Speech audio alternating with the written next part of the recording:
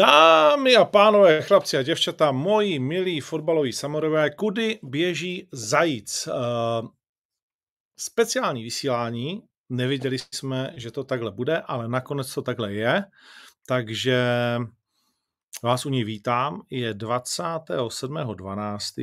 11 hodin 30 minut, začínáme neuvěřitelně včas a jsme dokonce skoro všichni připraveni, až samozřejmě na pana Vacka, který sice na tréninkovém vysílání byl přítomen, ale následně ho opět stihl cigaretový záchvat a tím pádem se musel odpojit a doběhnout si na balkónek ve svém skromném, neosvětleném bytě. V každém případě doufám, že vy všichni ostatní máte uh, světlo, nejen to vánoční v sobě, ale i to uh, reálné, ať už plynové, či elektřinové, či jakékoliv, které zrovna máte po ruce.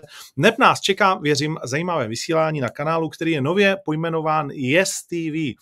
A na to se někteří z vás uh, ptali. Já jsem to zatím nevysvětlil, ale dáme si takových 30 vteřin edukace, proč Yes TV. Když jsem vysílal pouze MMA letem světem, tak Fight Club News byl uh, samozřejmě uh, jasná, jasná volba a je to nejstarší podcast v Československu. Neb uh, jsem začínal v roce 2013 a v té době vlastně ještě nikdo videocast vlastně vůbec nedělal. Uh, pak jsem přidal tak určitě, pak jsem přidal Kudy běží zajíc, a teď ještě přidám další podcast o světu reality show a televizi. A vlastně už se Fight Club News úplně jako na všechno nehodí, byť je to spojený s mým životem. A už jsem měl dlouho v hlavě projekt, který by přejmenoval vlastně tuhle tu YouTubeovou rodinu a dopřál tomu název, který bude mít nějaký smysl, pro mě alespoň, a uh, zároveň vlastně jako dá té skupině podcastů schopnost se jednak rozšiřovat a jednak uh, tomu dá nějakou, nějakou nadstavbu. Takže Yes TV znamená Your Entertainment, Sports and Show což by měly být takovéhle podcasty. Takže by vás to měly bavit, měla by to být vaše zábava, měla by to být sportovní a pak také show, podcasty, které budou přinášet uh, především tu zábavu. Takže to je, to je idea toho názvu a pod tím se budou slučovat všechny čtyři podcasty, které v tuhle tu chvíli jsou ve výrobě a některé ještě přijdou. Tak, to je, co se týká názvu. Proč je to veřejné? To je dobrá otázka, která bude za malou chvíli zodpovězena. Eh, chápu, že někteří naši předplatitelé na Hero Hero mají pocit, že by to mělo být eh, pouze pro ně, exkluzivně, ale k tomu se dostaneme za malou chvíli. Pojďme tedy na to. Eh, naším dnešním hostem samozřejmě jsou jednak mý stálí spolupracovníci a to je mistr Jan Vacek. Zdravové, hezký den, pozdní ráno. Uh-huh. A samozřejmě také uh, Folpy. Čus, zdravím který evidentně ještě doufá v kariéru po kariéře. A nebo nějakou práci v Liberci, že tam je to nějakým, nějakým boardu tam. Lasíčko. Takhle, líbí se mi, že začínáme... Lukáš, tak sentimentu. Po, pane prezidente, dobrý den, já to si povrch.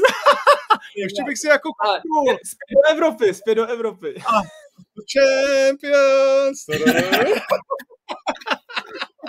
Cítíš se ve formě, cítíš jako ten přestup. Takhle, ze zajíce už se přestupovalo do výkonných funkcí. Ty jsi jako pro sebe jakou funkci v libereckém týmu pro sebe uh, tak nějak uh, Folpy vysněl? PR, nebo by tě zajímal ještě ten zelený pažit?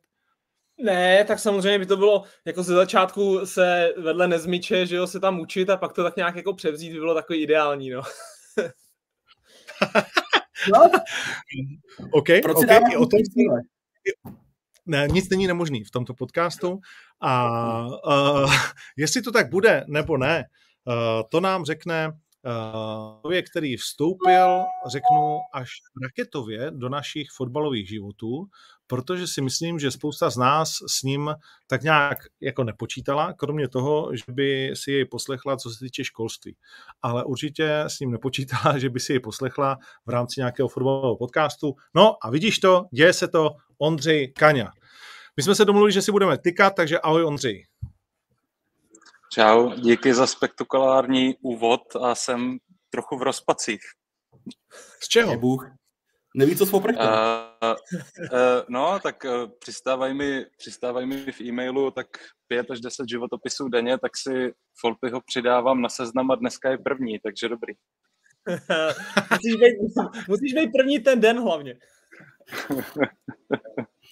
A, a, a, a to si děláš legraci nebo vážně jako lidi, když se uh, dozvědí, že se něco takového děje, tak se hned takhle uh, vydávají stříc dobrodružství a píšou ti, že by byli dobrý na cokoliv, co se týká toho fotbalu Liberci. Já musím říct, že mám, myslel jsem si poměrně bohaté mediální zkušenosti z posledních jako mnoha let, nejen v té ekonomické biznesové sféře, ale i z bohužel, teď říkám bohužel, protože už bych to znovu neudělal s nějakým přesahem i do takové té popkulturní zábavy. A uh, vlastně to, co se stalo od toho, od té někdy půlky prosince, kdy Infotbal uh, vlastně vydal tu novinku, kdy ještě nebylo vlastně ani nic podepsáno a tak, tak uh, jako já mám zaplavený sociální sítě, naštěstí na mě nikdo z fotbalu nemá číslo, takže všichni volají Honzovi Nezmarovi, což mi vlastně nevadí, vadí to jemu. Uh, takže takhle zprostředkovaně, uh, zprostředkovaně uh, si myslím, že bych si mohl založit nějakou headhunterskou firmu a dohazovat zaměstnance do fotbalových klubů. Jak se na to tak dívám? OK, OK. Tak já, já bych nějaký potřeboval, nejsem fotbalový klub, ale jako jinak jsme taky, jako velikost Liberce Octagon určitě má. Jo, to asi já.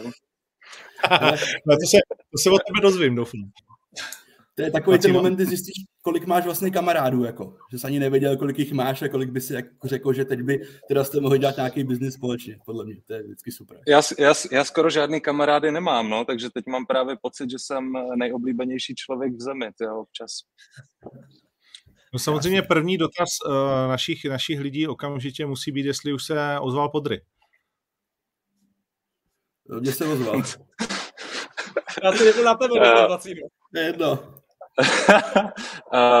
Dobře, e, dnes, dnes budu v mnoha odpovědích muset být částečně politicky, tak řeknu, že e, nám nezapadá do koncepčního rámce, takže i kdyby se ozval, tak se o, o, obávám, že bych ho přesměroval například do oktagonu za nějakou pěknou provizi.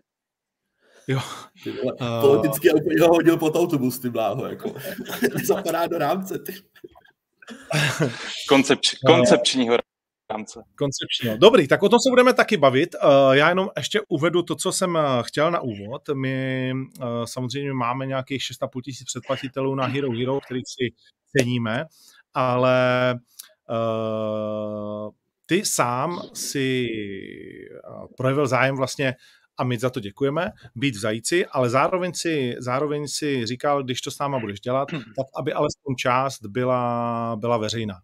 A my jsme si řekli, že pojďme udělat to vlastně veřejné celé, uh, ten, tohle, tuhle tu první introduction, protože pořád cítíme, že to je služba nejenom jako uh, našim fanouškům, ale fotbalu a, a všem fanouškům fotbalu a že takovýhle první velký rozhovor by měl být pro všechny fanoušky fotbalu dosažitelný, takže to prostě necháme celé uh, tady na YouTube a tím tě možná uchráníme i třeba některých dalších rozhovorů.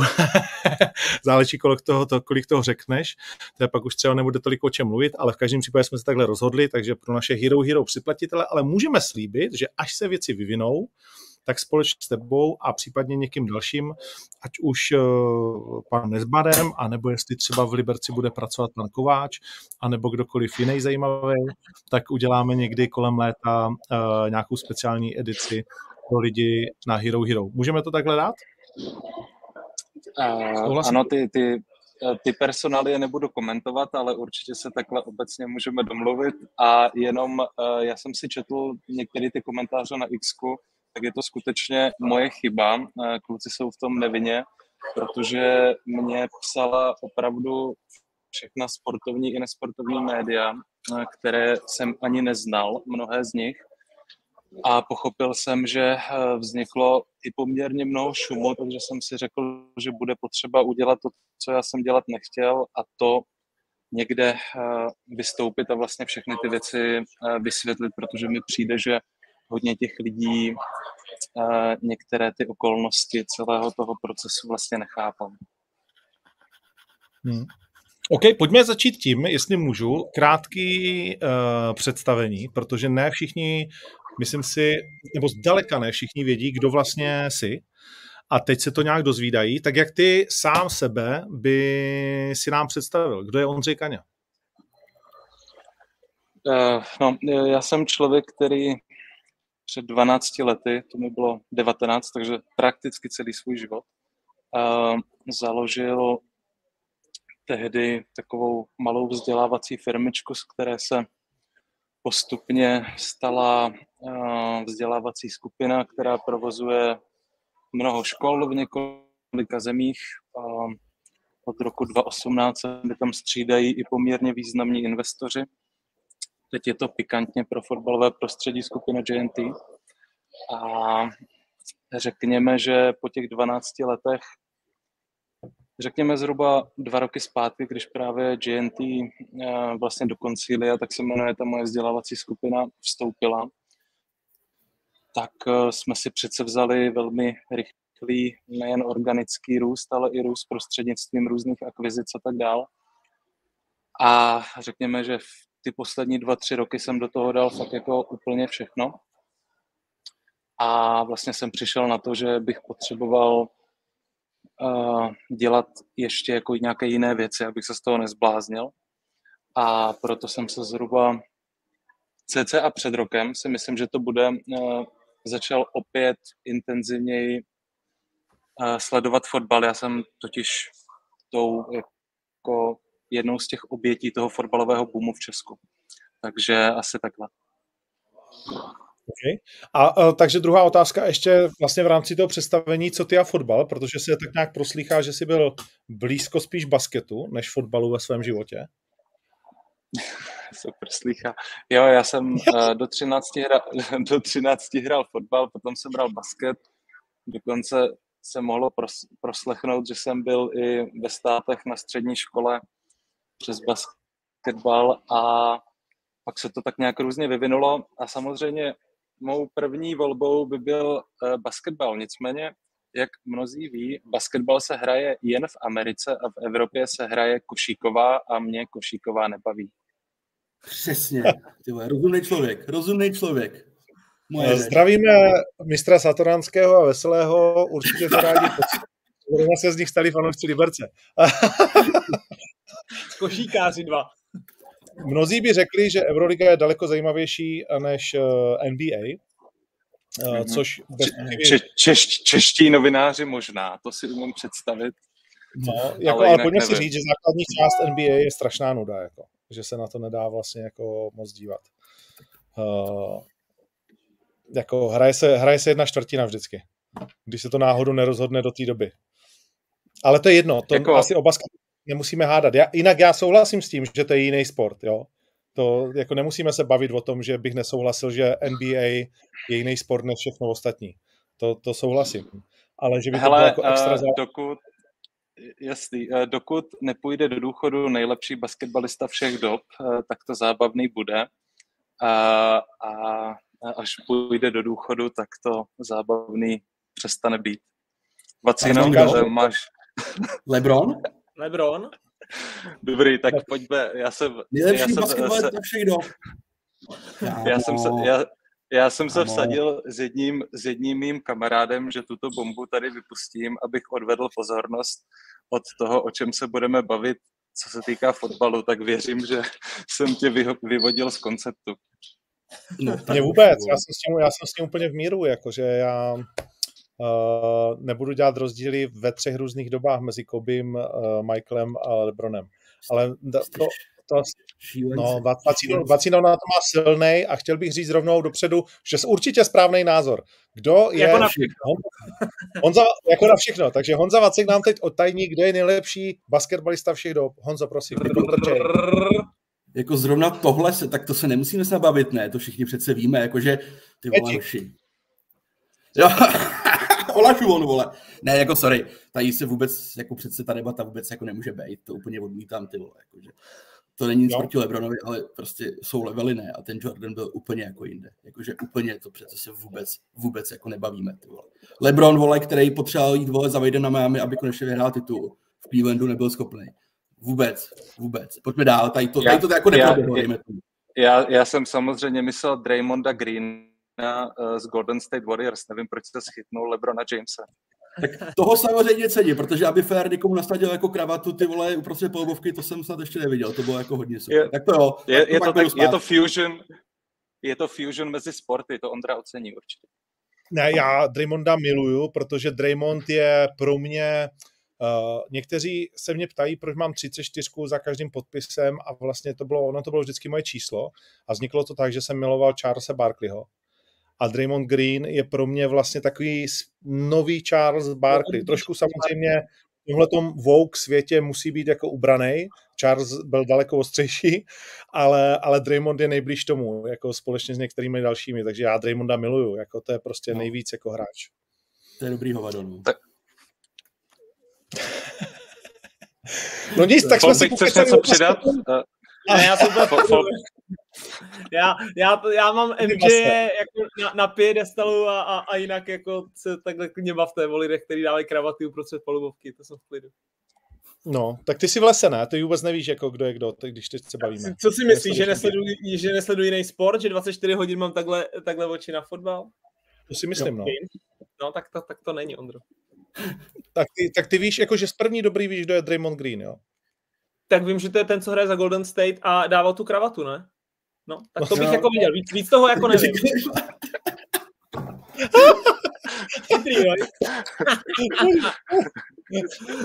V případě to sleduješ jako kráva, to si mi líbí. Tak, a podle mě je to novodobý Charles Barkley ještě trošku.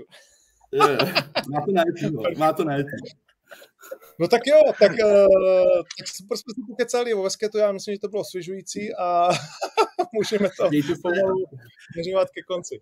Uh, tak čím začneme? Tak uh, řík si před rokem. A my jsme teď vlastně se od Honzi Nezmada dozvěděli, že zpracovával pro tebe řádově čtyři nějaké uh, nevím, moodboardy na téma uh, koupě fotbalového klubu, tak jak se vlastně jako člověk uh, rozhodne, že koupí fotbalový klub a proč osloví vlastně jako zrovna Honzu Nezmara, aby mu dodal tu fotbalovou expertízu? Hmm. Jasně. Uh, ta původní myšlenka uh, byla taková, že tím, že máme školy jak v Praze, tak v Brně, tak mi vlastně dával smysl um, vytvořit nebo spolupracovat na nějaké vzdělávací lomeno sportovní vertikále.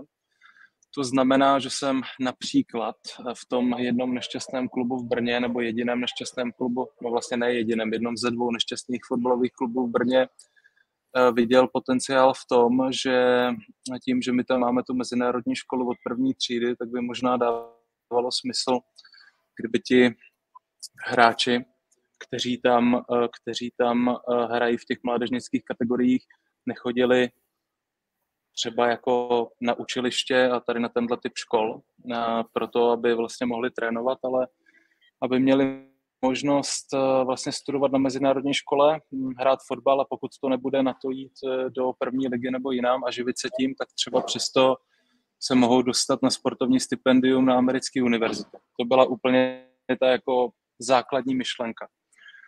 No, potom jsem do toho začal trochu víc proplouvat. Dělali jsme si interně nějaké jako analýzy toho, jak ty kluby ekonomicky fungují. Něco jsem se dozvěděl o tom, jaké jsou price money, nebo v úvozovkách price money, nebo vlastně příjmy za ty evropské soutěže, že jo? Že bude nějaký tender na televizní práva a tak dále a tak dále. Řekněme, že někdy v únoru a v březnu jsem začal aktivně navazovat jako kontakty v pár klubech. A, a potom teda konkrétně v tom Brně to bylo docela zajímavé, protože já jsem se s panem majitelem potkal na pár hodin. Myslím si, že to bylo někdy loni v březnu, v dubnu, kdy to ještě nevypadalo tak, že vlastně se stoupí. Eh, takže jsme eh, se potkali, eh, měli jsme docela dlouhou debatu, myslím si, že dokonce bych to mohl říct tak, že jsme si i odsouhlasili nějaký jako potenciální finanční parametry nějakého vstupu. já jsem pak odjel do Japonska na měsíc a mezi tím ten klub se stoupil do druhé ligy. Takže, uh, takže uh, vlastně to padlo a byl jsem opět na bodu nula. No a, potom uh, přes léto se taky něco odehrávalo, ale já jsem to moc nebyl. No a potom mě moji právníci seznámili, a tímto chci pozdravit a dát mu shoutout s Romanem Brulíkem, vlastně agentem fotbalovým. A um, s tím jsem se párkrát potkal. Já jsem měl už nějaký jako shortlist klubu, on mi pomohl se trochu nasměrovat, no a logicky, eh, logicky v tom shortlistu byl vlastně i Liberec, no. A on mi říkal, že, což asi teď můžu nějak jako subjektivně, neobjektivně potvrdit, že vlastně s kým jiným se tady o těchto věcech bavit než s Honzou Nezmarem, takže jsme se potkali a, a vlastně myslím si, že během pěti minut jsme vlastně viděli, že to do sebe jako perfektně zapadá. Myslím, že ještě ten den jsme si večer volali a vlastně jsme si říkali, že to je až moc jako, až, že to zní až moc dobře, že to až moc dává smysl, takže je vlastně nepravděpodobné, že by to mohlo dopadnout. No a potom jsem se potkal poprvé s panem Karlem, tam si to sedlo taky, si myslím. No a byl to prostě několika, do téhle doby to byl několika měsíční proces, který se skládal z různých jednání, samozřejmě nějakých jako právních, daňových, ekonomických a jiných prověrek a tak dál. A jsme se dostali vlastně do situace, kdy jsme což komunikoval i ten klub, eh, takže to může říct konkrétně, podepsali opci na 75%. Hmm. Uh, samozřejmě asi uh, ty, ty necháváš strašně moc otevřených dveří, tak vůbec nevím, jestli se jako... Já to zkrátím, schopný... já se omlouvám.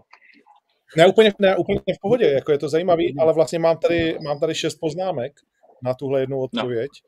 No. První z nich píšou všichni, protože samozřejmě každýho by zajímal ten shortlist těch klubů. Tak víme, že Brno, Liberec, jsi eh, ochotný říct, eh, kdo tam byl dál z těch, z těch klubů? Už to řekl za tebe, to je v pohodě.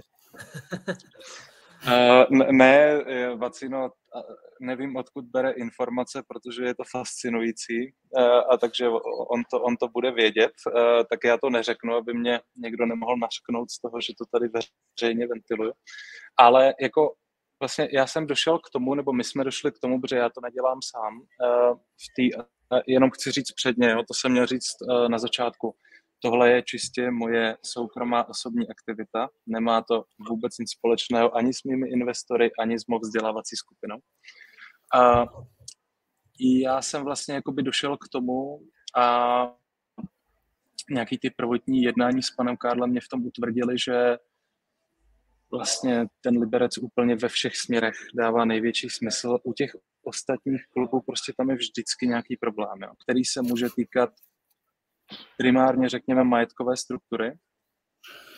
Může se týkat toho, že prostě pokud máte obecně, řekněme, firmu, která je ve ztrátě ještě v téhle sezóně, potom ty práva tomu trochu pomůžou příští rok, ale řekněme provozně minus 50 milionů korun, tak jen blázen. Prostě jen blázen někomu zaplatí za ten klub, řekněme, hodnotu hráčů z transfermarktu a do toho bude vlastně jako garantovat to, že bude tam dosypávat tu provozní ztrátu. No. A bohužel já jsem se jako s tímhle setkal uh, a myslím si, že to je taková jako rozšířená představa, že ty kluby často jsou zanedbané jako infrastrukturně a nejen z hlediska té fyzické infrastruktury, ale i řekněme nějaké jako procesní a manažerské a tak dál. Takže ta ztráta těch 50 milionů je jenom to, že tam prostě, jako že ti nevypnou prout, jo, když to tak řeknu. A samozřejmě ty náklady na to jsou mnohem větší. Potom jsou kluby jako, potom jsou kluby, které jsou vlastněny politiky nebo veřejnou zprávou nebo městem, obcí, a to je samozřejmě strašně problematický a já tím, že vlastně funguji ve školství už docela dlouho, což má, což je tam je jako velmi úzké propojení se státem i s municipalitou, tak jsem se do tohohle vůbec nechtěl pouštět. Jo. to je prostě, to, to, to nedává vůbec koncepční logiku. No, takže, takže tak a potom samozřejmě máte kluby, kde ty majitele by se s váma hrozně rádi potkali a hrozně rádi by to s vámi řešili, nicméně vy víte a zjistíte to během pěti minut, že tam jsou různé směnky, že tam jsou různé dluhy, že tam jsou prostě věci, které vy jako nemůžete akceptovat z principu. Mm-hmm. Takže suma sumárum, já si myslím, že v Česku v současné situaci, a když se budeme bavit o Fortunalize, tak jsou a pominuli Plzeň, Spartu a Slávy, tak si myslím, že jsou reálně třeba čtyři kluby, které, včetně Liberce, kde bych si myslel, že vlastně to jako problém není. Jo. U zbytku je tam prostě, my jsme to analyzovali a z veřejných informací a potom z nějakých jako informací, co já jsem někde získal, ale vždycky tam je prostě jako nějaký problém. Okay. Vacino, tak který jsou ty dva kluby? Já vím o jednom, já vím o jednom, myslím, že ho tady Ondra víceméně úplně detailně popsal, a, tak to je samozřejmě uh, Dynamo Český Budějovice, že jo, a, a Mr. Koubek, to je přesně jako frajer, který žije v té realitě, že Eh, si rozklikne prostě hodnotu svého kádru a má pocit, že ty částky se čte a to je něco, co by měl jako někdo dát za ten klub. Jo. Frajer zadlužený ty vole jak rozvojový země, jako, takže to byly Budějovice a myslím si, že to je přesně jako no-go zóna, kam když máš všech pět pohromadě, tak nemůžeš jako ekonomicky vůbec vlézt, ale může ti to vlastně podle mě jako ani napadnout.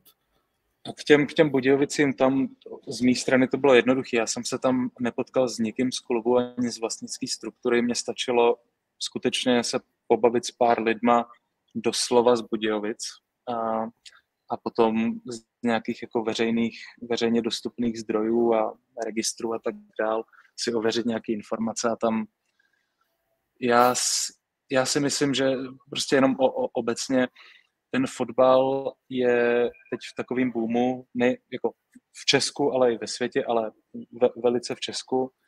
A myslím si, že a doufám v to, že vlastně ty kluby budou dostatečně rozumné na to, aby ty příjmy z těch televizních práv nebyly vlastně jako vypláceny každému stejně, ale aby se to jako nějakým způsobem výrazně rozlišovalo. Aby vlastně ty kluby byly co nejvíc motivovaný k tomu, aby vlastně prostě se museli zpřístupnit nějakým jako externím zdrojům financování, externím investorům, protože by jinak vlastně ztratili krok a propadli by se do té druhé ligy a znamenalo by to, znamenalo by to, to že přijdou, přijdou prostě o hodně velkou část rozpočtu a zároveň, pokud to vlastně jako rozlišíte, že třeba top 6, top 7 má disproporčně jako větší příjmy a je tam ještě vidina té Evropy, což díky koeficientu je teď vlastně větší než téměř jako kdy byla, že jo. Tak eh, si myslím, že tohle je přesně ta situace, kdy hodně investorů bude chtít do toho fotbalu vstupovat, ale prostě problém podle mě je ten, že jako je hodně klubů, do kterých prostě vstoupit nejde, pokud prostě nejste sebevrah. Hmm. Uh, jenom uh, už vás kluci pustím ke slovu. Spousta lidí tady píše, proč teda dopadly ty teplice. Já jsem s Teplicema ne, nejednal, tam jenom z mé strany. Uh, já možná trošku jenom krátce popíšu ty kritéria, které já jsem měl. Jo. To je super. Já jsem, já jsem nechtěl klub, který vlastní svůj vlastní stadion, protože to jsou podle mě prostě logicky, když jako prodávající budu mít klub, který vlastní stadion, jako například Teplice, tak logicky za něj budu chtít dostat zaplaceno. A, a když si dáme jako k tomu, naproti tomu situaci, kdy máte celou řadu klubů, kde ty stadiony vlastní města a ten nájem je symbolický, tak vlastně ekonomicky to nedává vůbec žádnou logiku. Jo. A, takže já jsem nechtěl klub, kde, kde vlastně klub vlastní stadion. A dokonce jsem v těch jednáních narazil i na klub a to mi přijde hrozně líto a je to podle mě vlastně nevyřešitelný vzorec, který nemá žádné dotace na mládež, a zároveň má jako platí obrovský nájem za ten stadion. Jo. Takže v porovnání, je to teda druholigový klub, není to prvoligový klub, a v porovnání se všemi ostatními kluby, téměř všemi ostatními kluby, je tam vlastně vzniká sekera zhruba jako 25-20 milionů ročně, kterou ostatní kluby mají, vlastně nemají, protože dostávají dotaci na mládež a zároveň neplatí nájem za stadion. Takže já jsem chtěl, eh, takže to bylo první kritérium. Druhé kritérium eh, bylo to, že samozřejmě ideálně by ten klub měl být, mít jako track record toho, že je to dobře řízená organizace a to poznáme podle výsledku. Jo. O Liberce se asi bavit nemusíme, prostě jako když to jako přeženu, eh, tak v Americe by se řeklo, že tak jako klub tohoto typu je takzvaně jako legacy franchise, že jo? Je to prostě, řekněme, top 4 klub v posledních 25 letech. A Pacino, to by se to ne, nelíbí se ti to? Pohodě, já pak si k tomu řeknu svý. Ty ukroutíš hlavu dneska. Uh, No tak jak, jako když to zprůměrujeme, byť samozřejmě ta poslední trofej byla v roce 2015, tak uh, to znamená jako buď uh, vítězství v Lize nebo vítězství v poháru v průměru řekněme pěti let, když do toho započítáš účasti v Evropě, započítáš do toho, jaký hráči tím klubem prošli, jaký trenéři tím klubem prošli a, a kde teď jsou, tak si myslím, že když pominu vlastně Spartu, Slávy a Plzeň, tak jako když tohle všechno sečtu, tak bych řekl, že OK, za posledních 25 a 20 let tam třeba bude jeden, dva kluby, které se s tím můžou jako porovnávat. Jo, ale to byla čistě moje analýza, já jsem se na to díval takhle, jako nemusíme se na tom shodnout určitě. Uh, nicméně, nicméně vlastně tohle mi to, tohle mi to splňovalo uh, a zároveň se mi, se mi uh, prostě líbí a teď si to, teď to vlastně vidím, že hodně lidí má k tomu klubu jako vztah a jsou samozřejmě nějaké objektivní důvody, proč v posledních letech se třeba od toho klubu jako trochu vzdálili. Jo? To vidíme i na té návštěvnosti a tak dál, ale jako když já jenom sečtu prostě ty zprávy, které jsem dostal, kde často to byly třeba tři, čtyři odstavce jako a tak dále, tak si myslím, že tam je prostě obrovský potenciál na to, když tomu klubu dáme jako trochu novou energii, uh, takže skutečně to může být hodně dobrý. Jo? A to je opět jako něco, co třeba hodně těch klubů prostě nesplňovalo a to, co je úplně jako zásadní věc, a to, to chci jako potrhnout čtyřikrát, eh, takový klauzovská fráze, dvakrát potrhuji, uh, tak vlastně byl přístup, byl přístup pana Karla, uh, protože jako s něčím takovým jsem se vlastně v životě biznesu jako moc krát, moc krát nesetkal, protože mu šlo skutečně jenom a jenom a jenom o, o to, co to přinese klubu a, a vůbec neřešil jako jakýkoliv svůj, ať už finanční nebo jako marketingový nebo jako jiný benefit. Jo? A to si opět jako nemyslím, že je hodně klubů, kde to vedení toho klubu nebo ti akcionáři toho klubu by nad tím takhle přemýšleli. OK, kluci? Jo, tak... dotaz jenom, já asi se nemusím bavit o tom, že Liberec je jako top 4, že jo, mezi posledních třeba 15-20 letech, protože i když si vymeš tituly, i když si vymeš účasti v Evropě, tak to tak je a i kdyby si Vacíno hlavu ukroutil, tak prostě to tak je, že jo. Takže to jenom jsem na úvod chtěl takhle uh, odprásknout, jak to máme za sebou. A uh, mě, já se vrátím možná úplně jako na začátek, co ty jsi říkal, protože ty jsi prostě Brňák a ty jsi říkal, že jsi jednal se zbrojovkou, pak se odjel do Japonska a zbrojovka se stoupila a najednou teda to byl konec úplně pro tebe. Byl to pro tebe jako taková red flag, že prostě sestup do druhé ligy byl konec, že si ani neuvažoval o tom, že by si do toho vstoupil, i když jsou v té druhé lize? To je super, myslím, to je super to otázka. Uh, sorry, že hmm. skáču, to je super otázka. Já jsem si tady taky jako poznamenal, že proč zrovna jako vlastně uh, tohle je jako deal breaker, protože mi přijde, uh, že Sunderland Till I Die, že je často jakoby lepší si tuhle tu věc jako vybudovat uh, právě to podhoubíčko z té druhé ligy a zažít vlastně jakoby úspěch v první sezóně, že jo, v úvozovkách, když by, když by do toho člověk nasypal nějaký prachy, tak nechci říct, že se to dá plánovat, všichni tvrdí, že druhá liga je strašně specifická a tak dál a tak dál, ale byla by velká pravděpodobnost, myslím si, s nějakým kádrem, trenérem, prostředkama a tak dál, eh, nabrat vítr do plachet, takže jenom rozšiřuju tu Zdeňkovou otázku. Uh, no, já samozřejmě eh, budu teďka muset být jako opatrný. Řekněme, že asi jako existuje, ten sestup do té druhé ligy je primárně jako ekonomický zásah a šok. Jo? Zároveň ale to taky ukazuje něco o funkčnosti nebo dysfunkčnosti té organizace.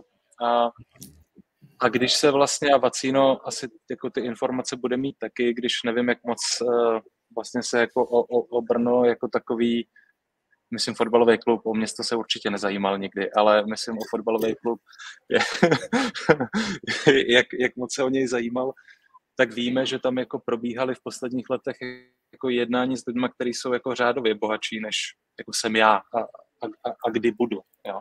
Takže prostě taky jako existují asi objektivní důvody, proč to nedopadlo. Je to prostě složitý. Jako, okay. je, je, je, to, je to složitý já, já z Brna jsem, já z Brna jsem, vím, jak to tam funguje, vlastně tam jako tak nějak podnikám taky. A je to prostě těžké. No, dobře, já ti skočím ale do řeči, ale ty na jednu stranu říkáš, uh, už jsme byli domluveni a oni pak spadli a pak říkáš, ale vlastně jako nejdu do toho, protože do toho nakonec našli jako i výdělečnější a v úzovkách chytřejší jako lidi biznisově než jsem já třeba. Uh, tak to uh, trošku na sebe ty výroky, ne? Hele, eh, domluvení, víš co, to, tohle je složitý, jo. My, my jsme měli jednu schůzku, tam jsme se asi jako nějak vlastně jako koncepčně domluvili, mě to dávalo smysl, ale mně se to samozřejmě taky nějak rozložilo mezi tím, co jsem byl pryč, tak jsme to ještě nějak jako zkoumali a tak dále a, a prostě jako se sešlo se tam víc věcí. Já jsem měl, byl jsem z toho nadšený, protože jsem to viděl i nějakou, nějakou nějakou formu patriotismu, prostě dejme tomu, ale já už v tom Brně taky jako x let nebydlím a vlastně jsem došel k tomu, že bude lepší se tam nevracet. Jo, okay. Jenom myslím, že v Brnu, jo, krátce.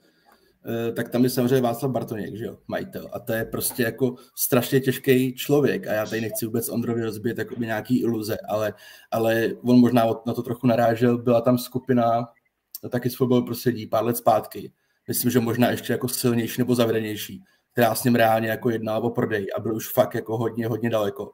Ale výsledku došli k tomu, že Bartoněk by to prodal, ale dá by to chtěl vlastně jako řídit. Jo, takže jako koupit něco od Freda tady s tím mindsetem je vlastně skoro nemožný a v Brně není tajemství, že spousta firm, která by potenciálně chtěla dát do fotbalu prachy, tak to prostě neudělá z toho důvodu, že tam je tady ten majitel, který neříkám, že je špatný, ale je prostě jako hodně specifický a blbě se s ním cokoliv domluvá. Takže jako za mě koupit zbrojovku je vlastně jako skoro mission impossible v tuhle chvíli. Jako. A byl tam Tady ještě, řík... ještě vlastně, tam, pardon, jenom, že to je veřejná informace, a tak eh, tam vlastně byl zájem od Igora Fajta, že jo, což je vlastně jako absolutní brněnský patriot, který jako opravuje prostě klasickou brněnskou architekturu, postavil muzeum a tak dál, ten by, ten by jako za to, za to Brno položil život a pro něj to jsou drobný a myslím si velký jako marketingový potenciálně jako boost a taky to neudělal, jo. Taky, taky to má hmm. asi jako svoje důvody. Okay. No, byl tam sportovní velká agentura hráčská, taky vycouvali. No, tak to je asi ale z těch tří, co říkáte, jako nejslabší hráč, ne? Že... Ty vole, to nevím. To nevím. Jo. Uh, pojďme zpátky k tomu Liberci. Uh, ty jsi říkal, že JNT je v tuhle tu chvíli jeden vlastně uh, z podniků, který s tebou vlastně podnikají na poli školství. Tak mluvil jsi s Danem Křetinským o fotbale? Já jsem, já jsem se bohužel, protože myslím si, že pro mou generaci podnikatelů, mladých, v úvozovkách, řekněme, nějakým způsobem úspěšných, je on vlastně jako největší ikona. Jo. Tak bohužel jsem se s ním nikdy nebavil, ale byl jsem na Shifts, nevím, jestli jste byli na Shifts na konferenci, co teď byla v Praze a tam s ním byl fantastický hodinový rozhovor. Uh, takže uh, když šel na bar, tak šel asi čtyři metry ode mě a já jsem chytil takovej, takovou tu jako takovou tu grupí fázi, jak kdyby uh, kolem, kolem nějaký jako mladý holky prošel Harry Styles takže jsem si neřekl ani o selfiečko, no, takže doufám, že se to někdy, někdy poštěstí. Tak až budete hrát v příští sezóně asi ne, na Spartě, tak uh, se setkávají třeba ti majitele. Ale... A, ale můžu říct, uh, jenom taková pikantnost, ne, nebudu specifikovat, ale protože já už to i psali, tak to jako můžu přiznat, jsem chodil na Spartu, nebo vždycky jsem měl rád Spartu. A už mi jeden člověk psal, že jako jestli už nejsem Spartan, že, že ho to asi jako, že ho to vzalo, takže bohužel jsou i takové příběhy. Jo, bohudík. Uh, co pan Karl, ty vlastně uh, si ho tady několikrát zmiňoval, jak na tebe udělal dobrý pocit. My všichni ostatní, já nevím, Zdeňku, Zdeňku ty jsi někdy mluvil s panem Karlem, jakožto bývalý hráč Liberce. Jako, viděl jsi ho fyzicky? no, fyzicky jsem ho viděl párkrát, když byl vždycky před sezónou vlastně v kabině, eh, tam nám něco říkal, jednou tam byl i po postupu do Evropy, vlastně něco taky měl takovou krátkou řeč a mezi čtyřma očima jsem ho viděl jednou, když mě v Liberci končila smlouva vlastně a on chtěl prodlužovat a já ji neprodlužoval. Takže to, ale, ale vlastně i když byl na mě tak trošku naštvaný, tak, tak furt to byl frajer jo, jako musím říct, že vlastně to bylo jako dobrý, on chápal i moje důvody, tak nějak jsme se jako docela dobře 10 minut pokecali a šel jsem zase do hajzlu. No, takže, takže to, jako já jsem si mluvil takhle jednou, ale je to takový pan Karle v Liberci takový dost jako mýtus, jo, vlastně on nikde moc není vidět, nikde nevystupuje, vlastně směrem i jako, i když se vydalo, že tady bude mít Ondru, tak mě psalo několik lidí, vlastně z Liberce, no musíte se ho zeptat prostě, jestli, jestli bude jako vstřícnější k těm fanouškům, jo, protože prostě pan Karel fakt vlastně si nevíl žádný vyjádření s ním, on dal jeden rozhovor v životě v televizi, tenkrát po titulu, jo, nějakým, takže, takže prostě fakt pan Karel je, je takový jako zahalený takovým kouřem jako záhad, pro, pro, i dokonce pro liberecký fanoušky. No, jo, no tak nejenom pro ně. Ne, hlavně je to člověk, který má prostě samozřejmě v tom fotbale jako nějakou pověst.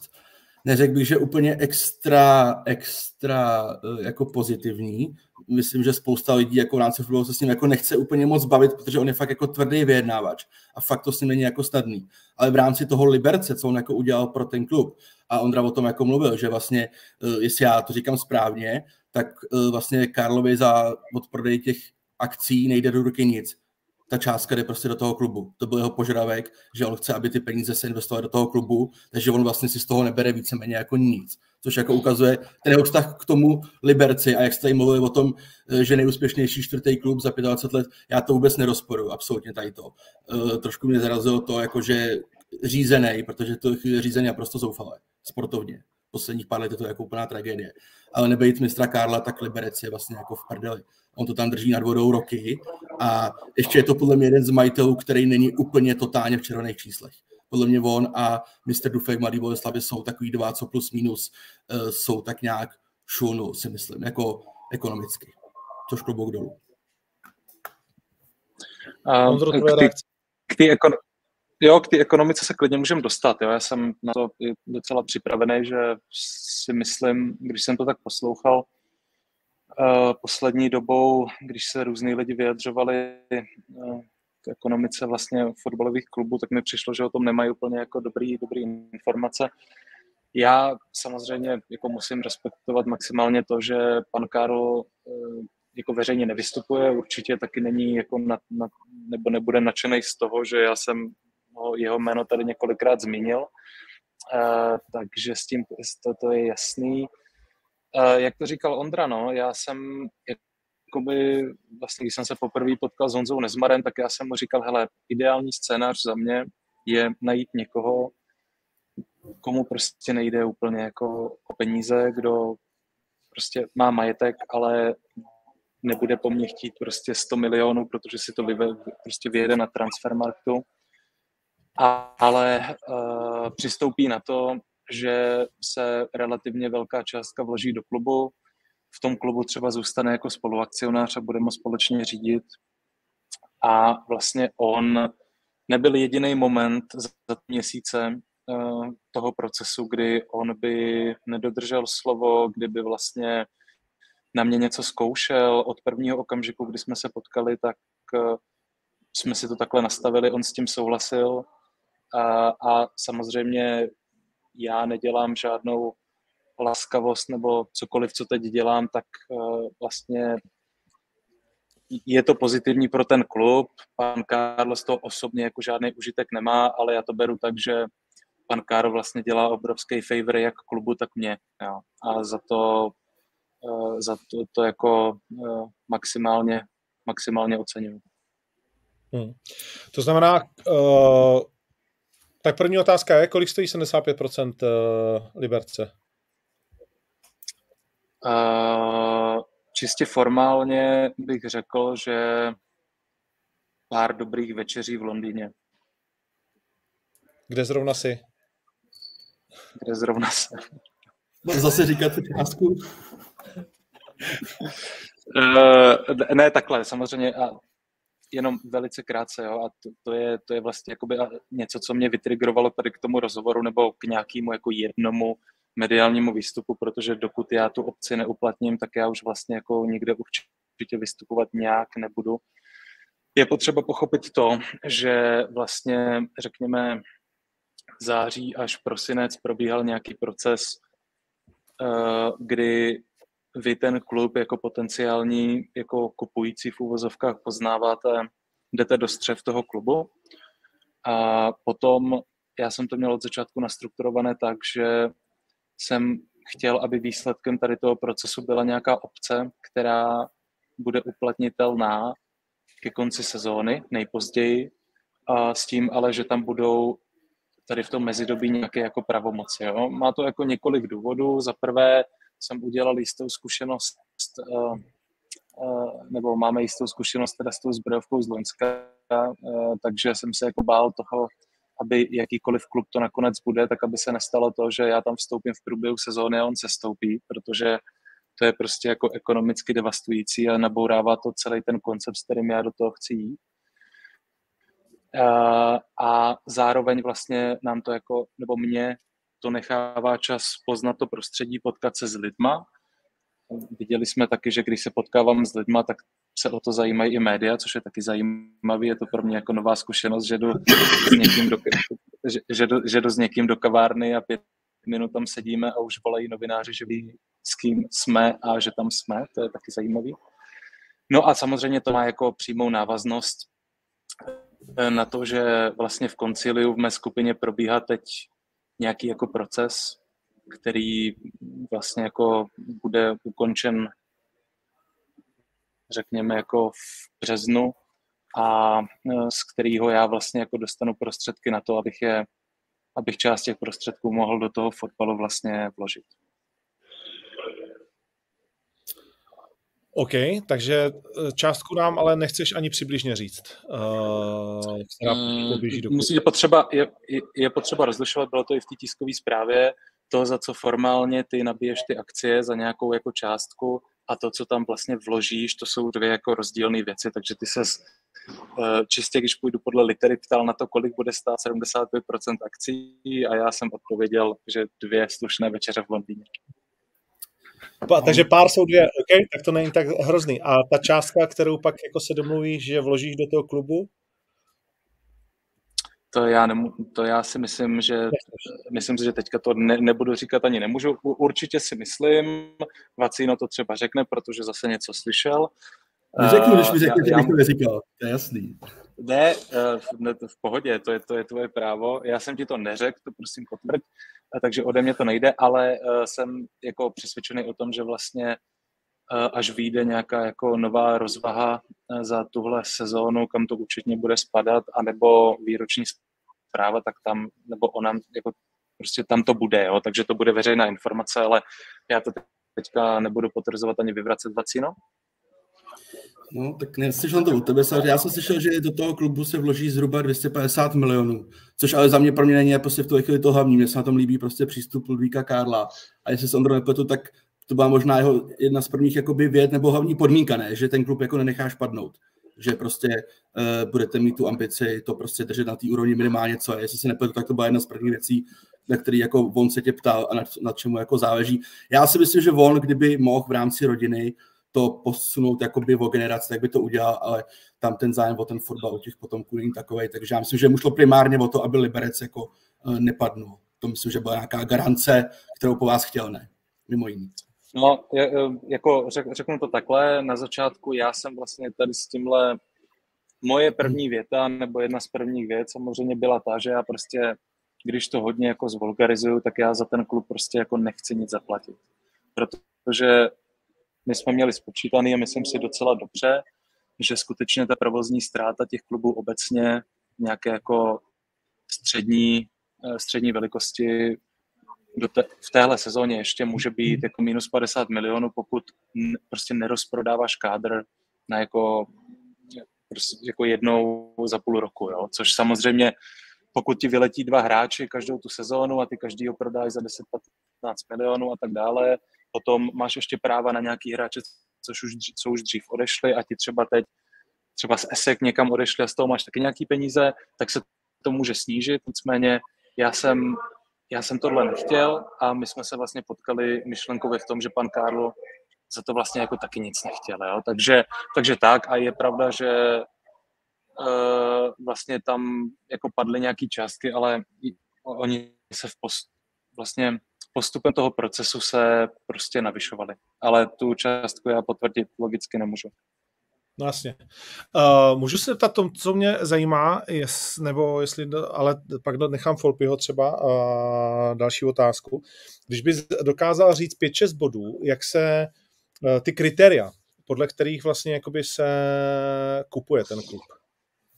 Jo, co, co je pro tebe takových pět hlavních třeba jako bodů, na co se díváš? Protože jsi zmiňoval televizní práva a Evropu, Eh, který tam asi pro tebe budou spadat, ale, ale nechci, nechci tomu dávat nějaký listy, tak eh, to mě zajímá.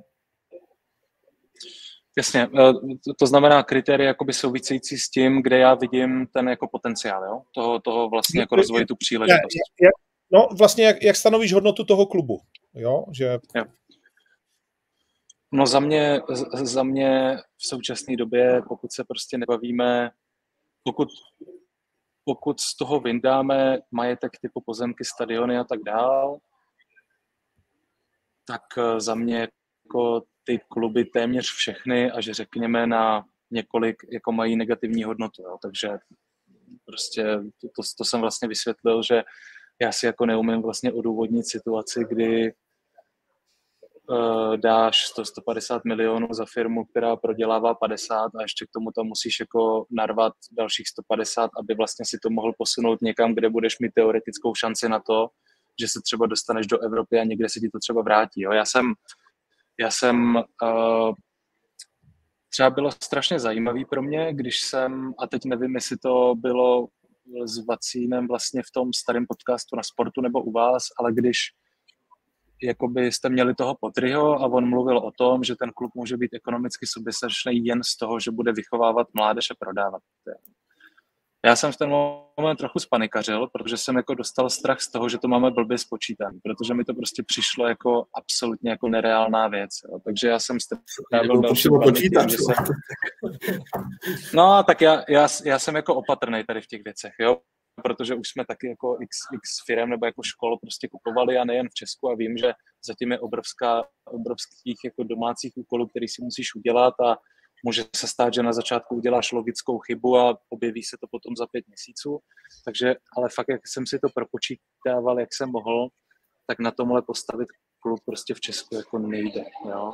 Představa, že klub jako Liberec, nebo představa, že já teď přijdu s tím, nebo přijdu s prohlášením, že vlastně z Liberce chceme, být, chceme mít český Ajax Amsterdam, teda ne jakoby v současné sezóně, ale v těch předešlých samozřejmě, eh, a budeme prostě prodávat 3, 4, 5 hráčů ročně, který nakoupíme za 100-200 tisíc euro a pak je prodáme za milion plus, anebo si je ideálně vychováme. Prostě to, jako dlouhodobě to možná je reálný, musí zatím být obrovská práce, obrovská infrastruktura, obrovské investice, ale tohle třeba za mě je tak jako věc jako číslo čtyři. Neříkám, že to nebude priorita, jo, ale nevidím v tom vlastně ten ekonomický upside. To, co je zásadní, podle mě, naprosto nejsou ani tak ty televizní práva, protože jestli se jakoby povede to, což Vacino má podle mě jako lepší informace, ale jestli se vlastně povede to, že se bude rozlišovat v těch příjmech z televizních práv to, kde se ten klub umístil v té předešlé nebo v předešlých sezónách, jestli byl v Evropě a tak dál, tak ono se taky podle mě teoreticky může stát, že třeba ten poslední klub dostane částku X, ale ten první klub dostane třeba třikrát tolik. Jo. Protože to jsou třeba modely, které my máme zanalizovaný z Polska, vlastně jakoby i z Německa a, a i z jiných zemí, že takhle to bývá, že to úplně rovnostářský není. Takže když jako klub máš minus 50 a dostaneš prostě teďka o 14 víc, než si dost, v příští sezóně, než si dostal letos, tak je to super, ale úplně tě to nevytrhne.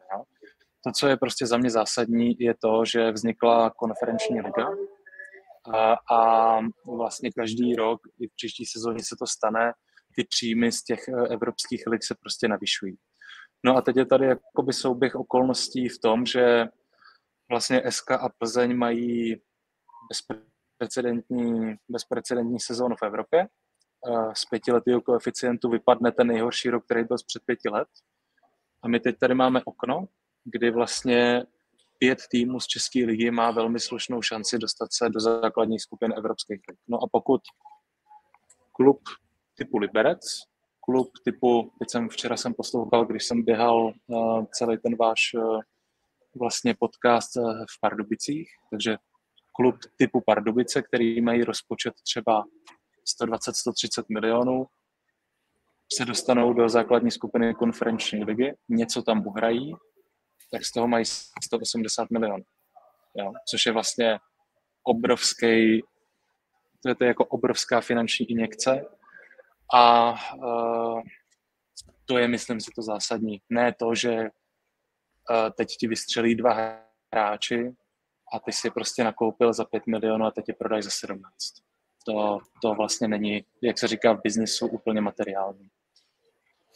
To znamená, že ty jdeš do Liberce s tím, že obci můžeš uplatnit do začátku léta, řekněme, já nevím, konec května nebo něco takového, nebo jo, tak Oficiálně je to půlka května, já, já plánuju, že ji uplatním o dost dřív. A v tu chvíli ty ve své hlavě budeš doufat a věřit, anebo vidět, že Liberec příští rok jde do poháru? Ne, vůbec ne, vůbec ne. Ne, ne, ne, ne. Uh, já, já jsem doufal v celém tom procesu, že Liberec se stoupí samozřejmě, jo, protože pro, což nebylo... Já jsem se na to, ne, já, ne, ne, ne, já, já, jsem se na to, já jsem, se, já, jsem si to, já jsem si to samozřejmě analyzoval a pokud se nepletu, tak Liberec byl nejhůř devátý za posledních 15-20 let. Nik, nikdy nebyl hůř než devátý. Takže samozřejmě bylo to velmi nepravděpodobný. Ten kádr je dobrý, uh, ten kádr je dobrý. Teď uděl, bylo to tam takový jako s otazníkama, ale posledních osm zápasů si myslím, že tam byla jedna prohra, ne, nebo něco takového, takže já jsem úplně v klidu. A já samozřejmě mentálně jsem už jako v příští sezóně. Já tuhle sezónu jakoby já vůbec, vůbec jako neřeším, jo. No a je v klidu taky Luboš Kozel?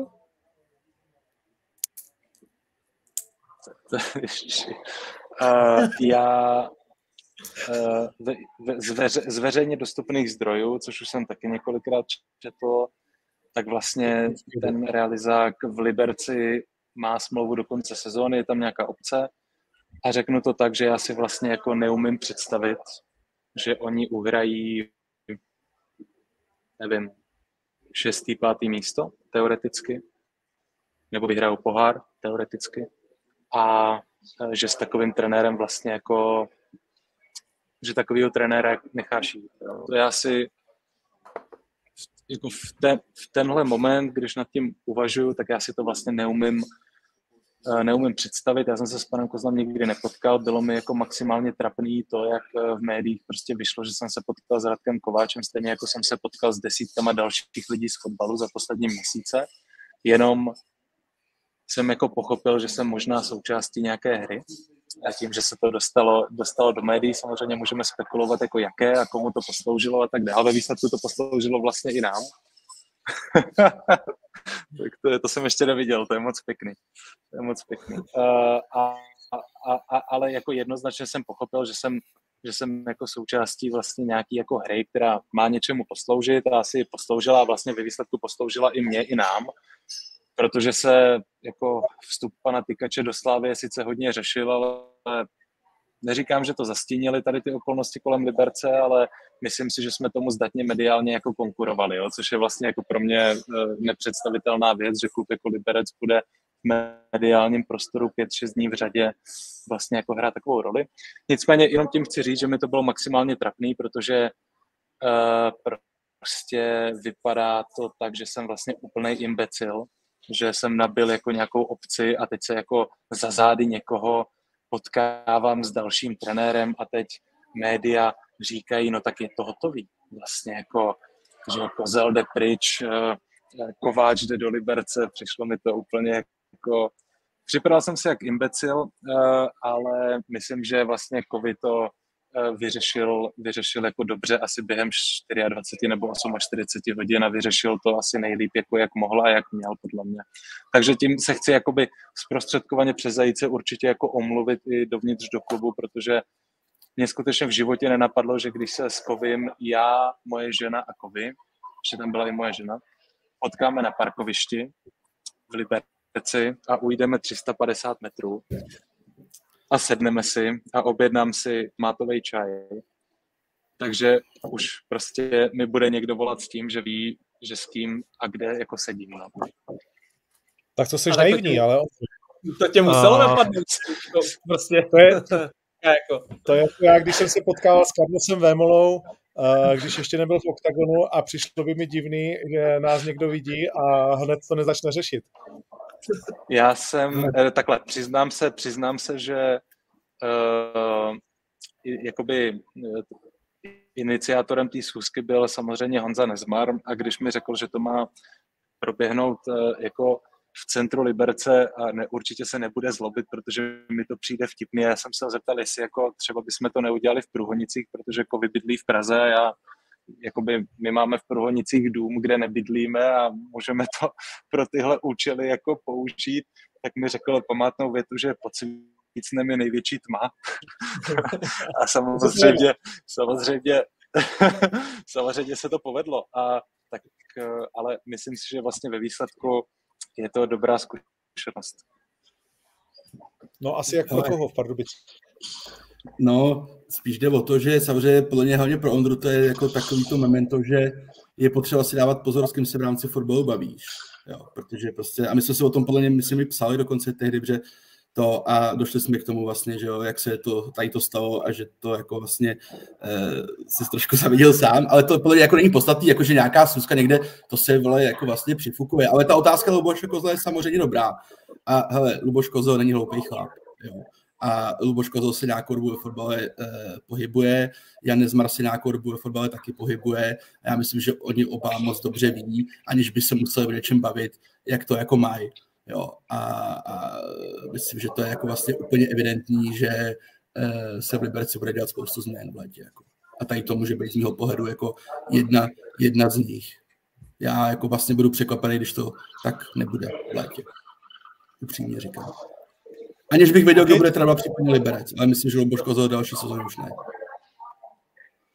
To znamená, že ty říkáš, že Jan Nezmar bude muž, který bude vlastně sportovní eh, ředitel, manažer, že, že, že, že, že, bude důležitý člověk pro Liberec?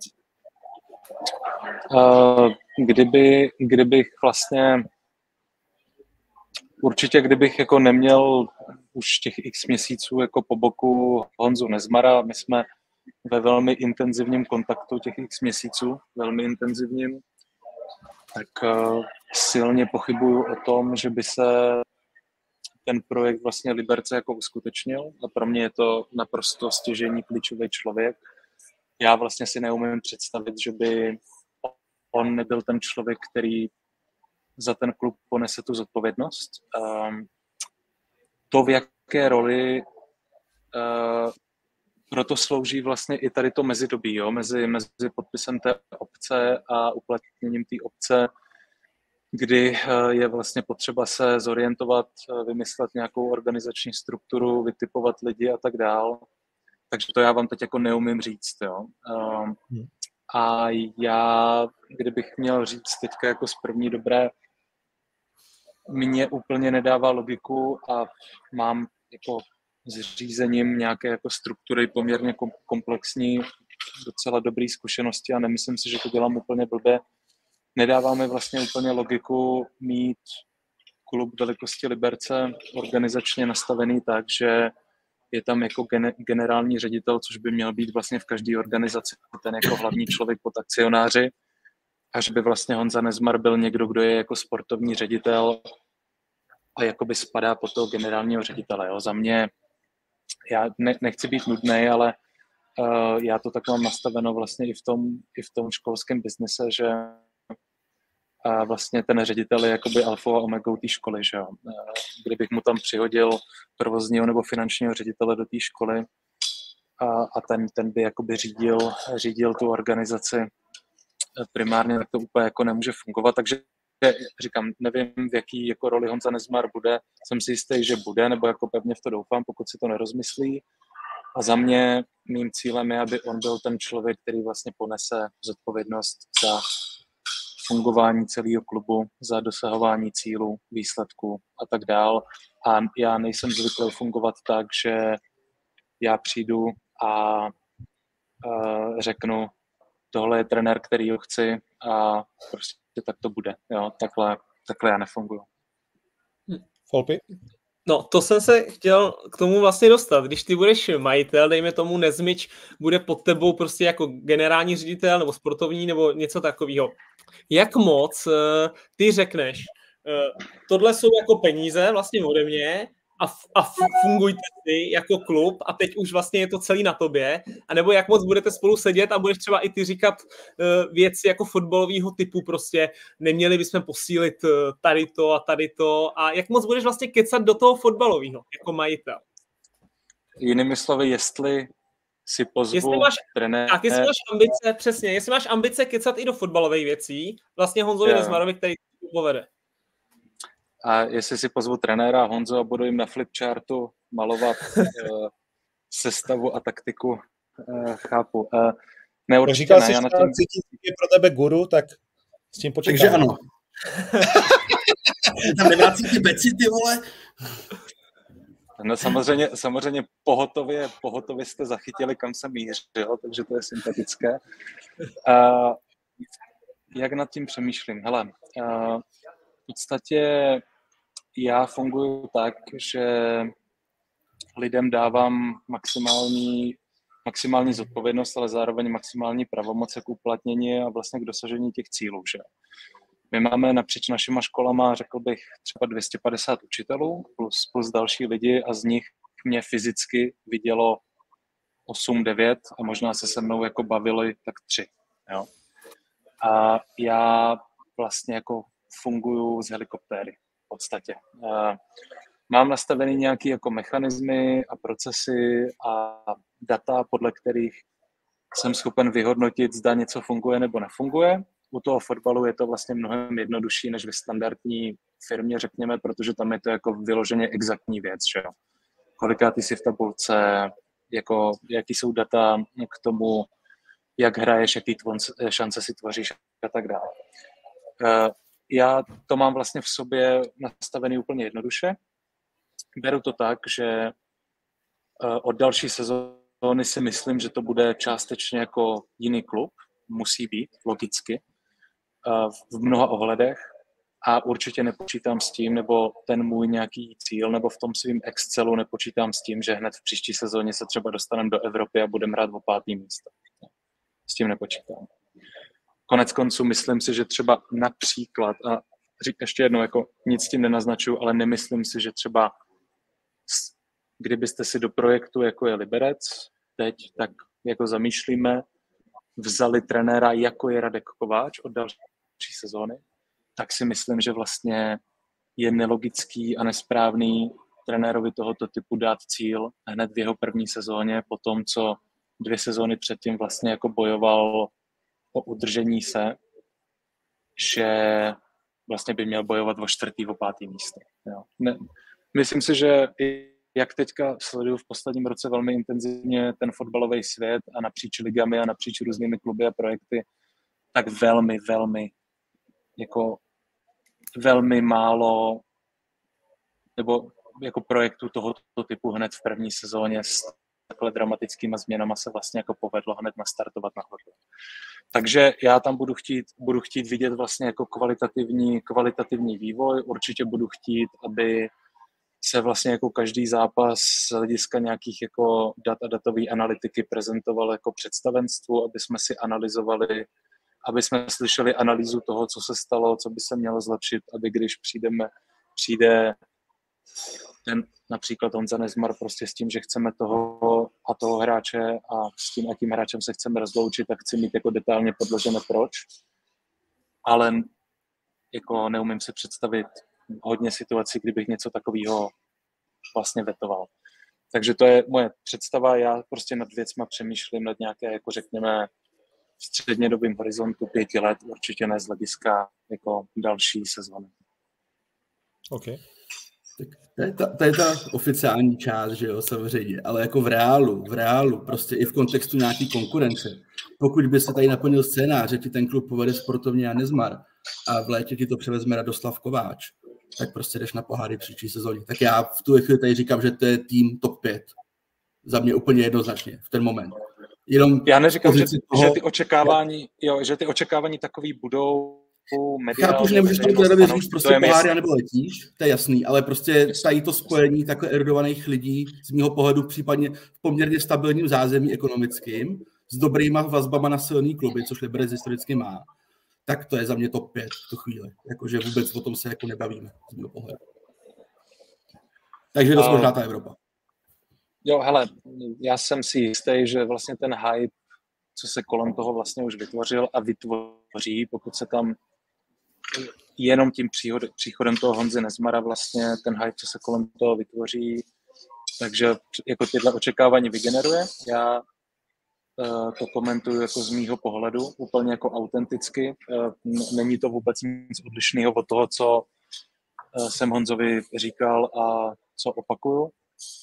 Prostě pro mě je to dlouhodobý projekt. Pro mě bude důležitý já vlastně nad tím přemýšlím já nad tím přemýšlím tak, že projekt tohoto typu z mého pohledu se musí budovat jako takzvaně top-heavy přístupem. Jo? To znamená, musíš mít zajištěnou tu hlavu, to by měl být ideálně nejkompetentnější nebo jeden z nejkompetentnějších lidí v tom oboru v té zemi, což si myslím, že u Honzy Nezmara prostě platí. Nesetkal jsem se s člověkem z fotbalového prostředí, který by mi řekl opak. Otázka trenéra je samozřejmě jako další věc. No a uh, říkám, no, já, uh, já jsem prostě přesvědčený o tom, že, nebo takhle, historie i to, co se děje ve fotbale, já jdu dneska na Chelsea uh, proti Crystal Palace, tak nemusíme chodit daleko, tak uh, umíme, umíme, umíme si asi jako zhodnotit, že je hodně projektů, kde se vytvořil hype, kde byly jako velký prohlášení těch lidí, co do toho vstoupili a tak dále a potom to byl jako absolutní fail z mnoha důvodů. A, a já prostě uplatňuji ten jako top heavy přístup Uh, ano, ale jako ve střednědobém horizontu. Prostě za mě, pokud to postavíš na kompetentních lidech, budeš, nastavíš nějaký checks and balances, ale nebudeš se jim do toho moc plést, oni se budou chovat v rámci těch mantinelů a to, co je důležité, co já jsem pochopil z těch stovek a stovek a stovek lidí, co mi psali z Liberce, a to patří do tohoto heavy přístupu, je taky velmi důležitý, aby vlastně ten klub středně době změnil takový ten přístup toho, že tam vždycky někdo vyletí a ty ho za půl roku, za rok prodáš. Samozřejmě v nějakém momentě je to neudržitelný, jo? ale ten klub musí mít nějakou identitu a je docela blbý podle mě, když projíždíš Libercem, jsou tam billboardy a na těch billboardech jsou dva kluci, který ti vlastně jako nepatří. A, a oni tam Liberec má billboardy, jo? Tak to je, to je posun, ne? Marketingový. Jeden u stadionu na ty umělce tam. No, a tam je, ještě, ještě to B, ne, s tím Nezmarem, jakože jste připravený i třeba na ty reakce, pokud by se to stalo oficiálně, že on prostě končil nějak, řekněme, že nemá úplně čistý triko, byť samozřejmě ty procesy soudní všechny jako běží. Tak jste připraveni na tady to, nebo byla to vůbec pro tebe něco k zamyšlení, jestli prostě jeho vrátit zpátky, že tu ideu mělo spousta lidí a vždycky od toho trošku upustili z toho důvodu, že přesně, hele, tady jsem vezl na oranžovou něco, bla, bla, bla, tak jestli to pro tebe bylo vůbec téma nějaký, nebo pro vás, nebo vůbec. Já, jo, jo, já, ten Liberec obecně v tomhle je vlastně jako problematický. Mě už psali samozřejmě potom, co se to dostalo ven, i takový ty, uh, tak, taková ty standardní média, i vlastně s otázkami jako minulost pana Karla, že jo, a, a, a, a tak dále. A u toho Nezmiho je to vlastně, je to podobný. Já si myslím, že v nějaký moment, když se to všechno stane, tak už první vlaštovku vlastně jako tím rozhovorem do sportu, který byl velmi stručný, který se pár dní publikoval zpátky, tak vlastně jako vystřelil. Já si myslím, že uh, můžeme jako očekávat, že až se tohle stane, tak on s něčím jakoby přijde. Umím si představit, že to může být na platformě tohoto typu. Vidím u něj obrovskou chuť k tomu, že on podle mě, samozřejmě nic mu jako nevkládám do úst, ale podle mě on tohle vidí taky jako příležitost, jak se trochu, jak se vlastně jakoby rehabilitovat, rehabilitovat tu reputaci. Jo. A já samozřejmě o tom všem vím, zjišťoval jsem si všechno možné, co se zjistit dalo. Za mě je to vlastně jednoduchý, on nikdy nebyl uh, on nikdy nebyl vyšetřovaný, nikdy nebyl obžalovaný a tak dále a tak dále. Asi minimálně jako Vacíno tak nějak v pozadí jako tuší, že jo, jak to jako fungovalo, kdo všechno v tom přímo či nepřímo byl jako zaplatený. A já na to mám jako jednoduchou, vlastně jako jednoduchou reakci, jo. kdyby někdo nahrával a potom zveřejnil hromadu mých telefonátů s hromadou lidí, tak bych z nich taky prostě vyšel jako totální kretén. Jo. A takže neři, já jako neříkám, že, že to není problematický, já jsem se udělal hodně kroků k tomu, abych se ujistil, že to fotbalové prostředí vlastně do velké míry už takový není, já bych tam vstupovat skutečně nechtěl. Ale já to mám sám v sobě naprosto, naprosto zodpovězený a není to pro mě vlastně jako žádný téma. Hmm, OK, to je, důležité, to je samozřejmě důležitý, protože uh, i pod tím tweetem, kde jsme oznamovali tenhle ten rozhovor, to hned uh, téma bylo. A co si budeme povídat, ono to nějakou dobu uh, trvat bude, ale pak, uh, pak, to zase, pak to zase odezní, to, tak, to, je, tak, to je taky jasný, takže to, to je vždycky tak. Uh, pojďme ještě otevřít trošku vlastně jakoby to marketingové, to marketingové pole. Liberec je často dobře hlající klub, který nikdo nevidí. Je to věc, která tě děsí, nebo se kterou si taky vlastně počítá, protože ještě, ještě než otevřeme tohleto pole, rozumím tomu, že ty říkáš, že by to mělo být podnikání alespoň za nula? V horizontu. Eh, takhle, já vůbec do toho nejdu s žádnou ambicí, že z toho někdy uvidím jako fyzická osoba nebo naše jako rodinný SPV, jako rodinná firma, která do toho ty peníze vloží, že někdy uvidíme ty peníze zpátky a použijeme na něco jiného. To tak jako není. No. My jsme, já jsem prostě hledal částečně jakoby nějaký únik, eh, nebo respektive takhle. Nějakou dobu vím, že se dostanu k nějakým penězům v nějakém období. Samozřejmě eh, já stále jako budu ve své pozici v konciliu eh, s podílem s manažerskou kontrolou, ať se stane cokoliv, takže to je moje práce, ale dostaneš se k nějakým prostředkům, ty prostředky nějak jako musíš rozinvestovat a mně dávalo smysl prostě část těch prostředků investovat do něčeho, v čem vidím příležitost. A investicím se dá prostě přistupovat různě, Máš investice, z kterých ti plynou nějaký peníze každý měsíc nebo každý rok a potom máš investice, kde ta jako hodnota je, ale třeba není likvidní a takhle to beru já. Já jsem jako přesvědčený o tom, že hodnota těch klubů obecně, hráčů, těch lig a, a Liberce jako takového vlastně půjde nahoru, když se budou dobře, dobře alokovat kapitál a bude se, bude se ten klub dobře řídit, ale v žádném případě jako neočekávám, že z toho někdy nějaký peníze mít budu. Očekávám to, že ty peníze, které tam vložím, tak vlastně povedou k tomu, že vlastně že budou alokovány tak, že ten klub se dostane, řekněme, opět na střednědobém horizontu pěti let k tomu, že vlastně bude ekonomicky soběstačný, ale zároveň si bude moct říct v nějaké sezóně, kde, to, kde se to bude nabízet, že třeba do nějakého slušného mínusu půjde, aby splnil nějaký jako sportovní cíl. Jo? Takže za mě to určitě není jako investice, která mě by měla živit nebo mou rodinu nebo něco takového, to určitě. Tak Uh, to je jasný. A teď uh, teda ta, ta návštěvnost toho Liberce a celkově to, jak ten klub je řízený, nevím, jestli slovo řízený je úplně ideální, uh, potom PR a marketingové stránce. Tak uh, co s tím? Je tam podle mě takhle ta návštěvnost je samozřejmě mizerná. Myslím, že třetí, třetí čtvrtá nejhorší v této sezóně, možná ještě horší. Folpy určitě pamatuje časy, kdy to tak úplně nebylo, že jo? Byli, byli tam aspoň třeba, jako tam chodilo kolem třeba 4 tisíc nebo něco takového, jo? A teď fakt, když se koukáš... No jasně, tak to byli samozřejmě jiní hráči tam, ale, ale teď, když se koukneš na ten závěr z té hlavní tribuny, že jo, a fakt vidíš tu protější prostě, kde většinou podle té protější to fakt jako poznáš, jo, tak, tak je to bída, no, tak už to klesá na nějakou úroveň skoro jako Boleslavy, kde to je, kde to je prostě hodně špatný. Jo, jo. Chtěl bych říct, já, že Liberec jako má 3100 lidí na domácí zápasy, před nimi jsou třeba Pardubice, Olomouc, Slovácko, Bohemka, Teplice a, to mají, a tak dále. A to ještě vykopí, že už tam měli Spartu a Slávy doma. Tak. No, no, no. ale, a ale hlavně ty čísla, ty čísla se vykazují. Za nima o 50 diváků je třeba i, i Budějovice a, a Zlín. Takže vlastně na stejné no. úrovni, což je tragický.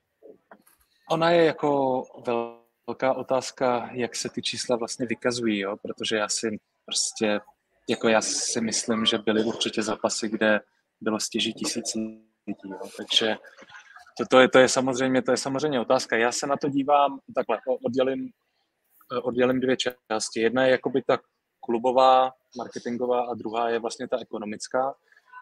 Začnou ty ekonomicky, tam je to jednoduchý. Ty příjmy klubů ze vstupního jsou naprosto minimální. Jo, to je prostě na úrovni, ani nebudu říkat na jaký úrovni, to je prostě naprosto minimální, takže to si myslím, že ani jako horší být nemůže pomalu. Takže já tam vidím velkou příležitost. Eh, velkou příležitost, když ten klub dostane nějakou identitu na venek, eh, budou tam silné osobnosti eh, a nejen mezi hráči, že jo, ale i ve vedení, ve vedení a tak dále. A trochu se jim v tom PR-ově marketingově pomůže a uh, budou dobrý výsledky, tak si myslím, že, že se to dá navrátit. Uh, to, co je ale samozřejmě důležitý, takže ekonomicky já s tím jako nepočítám. V žádném svém Excelu nemám to, že tam najednou začne chodit v průměru 5 tisíc, 6 tisíc lidí a nemám nikde výpočty toho, jaký budou příjmy ze zápasu, když třeba někdy se povede do té Evropy postoupit. Nicméně vnímám to, že a taky jsem na nějaký úrovni jako sport hrál a prostě je jasný, že se ti hraje prostě jinak, když tam máš tisíce a tisíce lidí a je tam atmosféra a cítíš to prostě v zádech, než když je tam prázdno a s prominutím, kde jaký ožralej kripl eh, ti tam prostě na tebe pořvává a slyší to všichni a slyší to, slyšíš to i v televizi ve výsledku. Že? Takže hmm. pro mě je to něco, čemu se teď chci věnovat tady v tom mezidobí, protože já na jednu stranu nemám rád prostě ten přístup toho, hele, pojďme teď zlevnit lístky, pojďme je rozdávat zadarmo, ať aspoň naplníme ten stadion, versus to, že prostě všechno má nějakou svou cenu a z dlouhodobého hlediska podle mě prostě dává smysl ty lidi naučit na to, že to něco stojí, ale získávat si je postupně. Jo? Nemyslím si, že ten první přístup je vlastně udržitelný a někdy někomu jako dlouhodobě pomalu. Určitě, no to je na hovno. A budeš to řešit agenturou nebo uh, lidma, který chceš řešit uh, dovnitř klubu nastálo? Nebo ještě si nejsi tak daleko? nejsem si úplně jistý. Uh, já jsem zvyklý fungovat ve skupině vlastně s interním týmem uh, marketingovým a, a trochu do toho zasahovat. Uh, nicméně pro nastavení nové identity s čímž, do čehož spadá hodně věcí. Už mám nějakou předběžnou dohodu s jednou agenturou a, a myslím si, že to bude takhle jakoby jednorázově nějaká, e, nějaká externí věc, ale zároveň z toho určitě potom vyplynou jako různé procesy a aktivity, které ten klub bude muset interně zajistit. Jo. Takže, takže to bude kombinace z mého pohledu, ale je to důležité. Je to, je to podle mě strašně důležité. No to je to. Ale zároveň ty jenom, Tak jenom, je to i pro jako zároveň... protože když říkáš, promiň, že ti skáču do řeči, ale když říkáš, že nemáš eh, v Excelu žádný čísla ze stupného, tak ale asi do Excelu si musíš hodit čísla od partnerů a partneři chtějí mediální výstupy a chtějí, aby jako to za něco stálo, nejenom to, že se udějí 32krát jako v televizi, že jo? To je, to je ta další věc, no, že vlastně i ty příjmy od těch sponzorů jsou jako, myslím si, jako podprůměrný v porovnání s, i s klubama, který vlastně hrajou hůř dlouhodobě. Takže tam taky vidím velkou příležitost.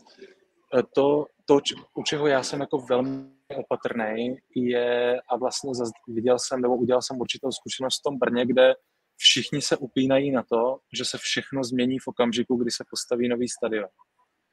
A myslím si, že jde vidět i třeba na tom Hradci, že sice se postavil nový stadion, sice tam chodilo a stále chodí hodně lidí, ale automaticky to prostě neznamená ten sportovní úspěch. Jo. Takže já jsem i vlastně v těch jednání s těmi různými kluby vždycky mi jako svítily kontrolky, když eh, první, druhá věta byla ta, že náš největší problém je stadion a v okamžiku, kdy postavíme stadion, tak se všechno změní.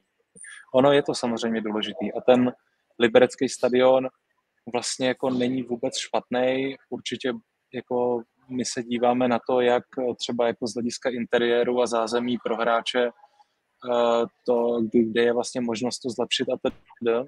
A ten stadion jako takový je vlastně, je vlastně fajn. Jo. A jenom bych byl opatrný tady s tímhle přístupem, protože já jsem to zaznamenal i například jako u fotbalových jako novinářů, protože já poslední rok poslouchám vlastně všechny podcasty a čtu téměř všechno že tam je často tady tohle jako upínání se, no? Že vlastně když se v tom Brně postaví ten stadion, tak eh, to, to prostě se změní všechno. Jako není, není to tak, já vždycky říkám i vlastně ve školství, kdy my jsme jako dlouho neměli peníze na to, aby jsme si mohli dovolit jako to prostory a tak dál, tak ty první roky, tak jsem vždycky říkal, hele, jako můžeme teď postavit za 70 milionů euro kampus, ale prostě kvalitativně kvalitativně se prostě jako nezlepšíš desetinásobně. No. Takže na to, na to bych byl jenom jako hodně opatrný. OK.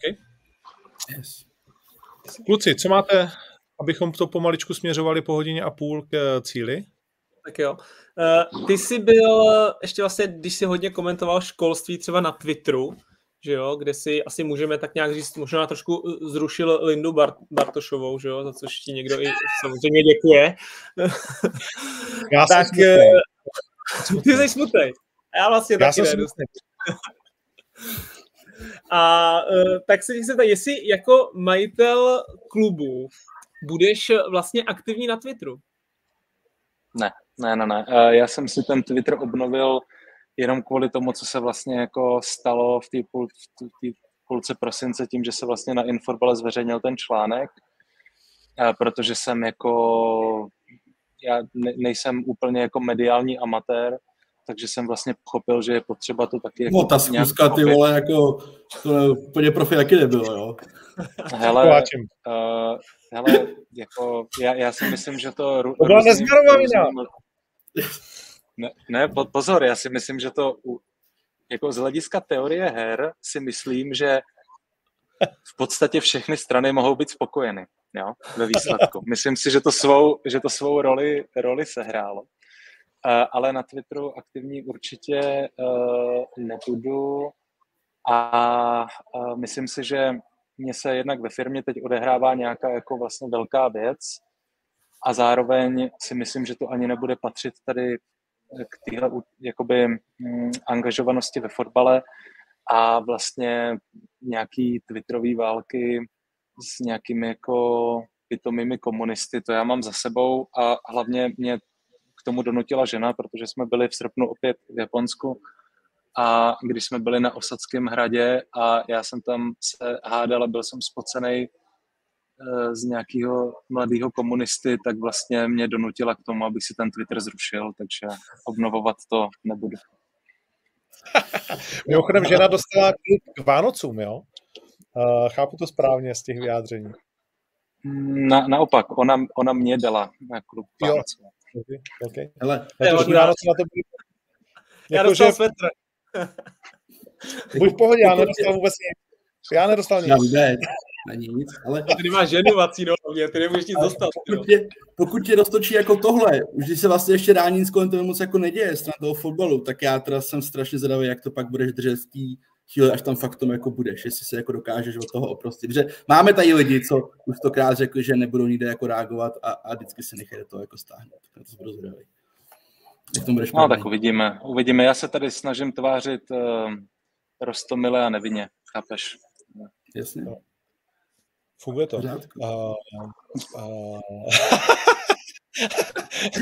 Uh, tak konec konců můžeme vlastně k našim kamarádům poslat, uh, poslat lidi, kteří by měli zájem s tebou si poslechnout vlastně velmi tvého šálku uh, a to je Insider, kde jsi byl relativně nedávno, ne?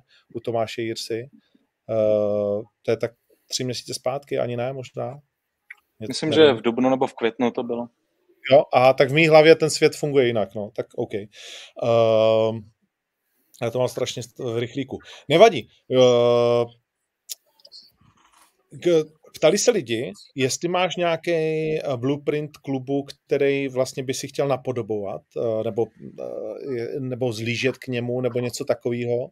Máš něco takového, co dlouhodobě sleduješ, nebo třeba ten poslední rok, že se do toho zažral ze zahraničí a říkáš si, jo, tohle by mohl být uh, New Liberec?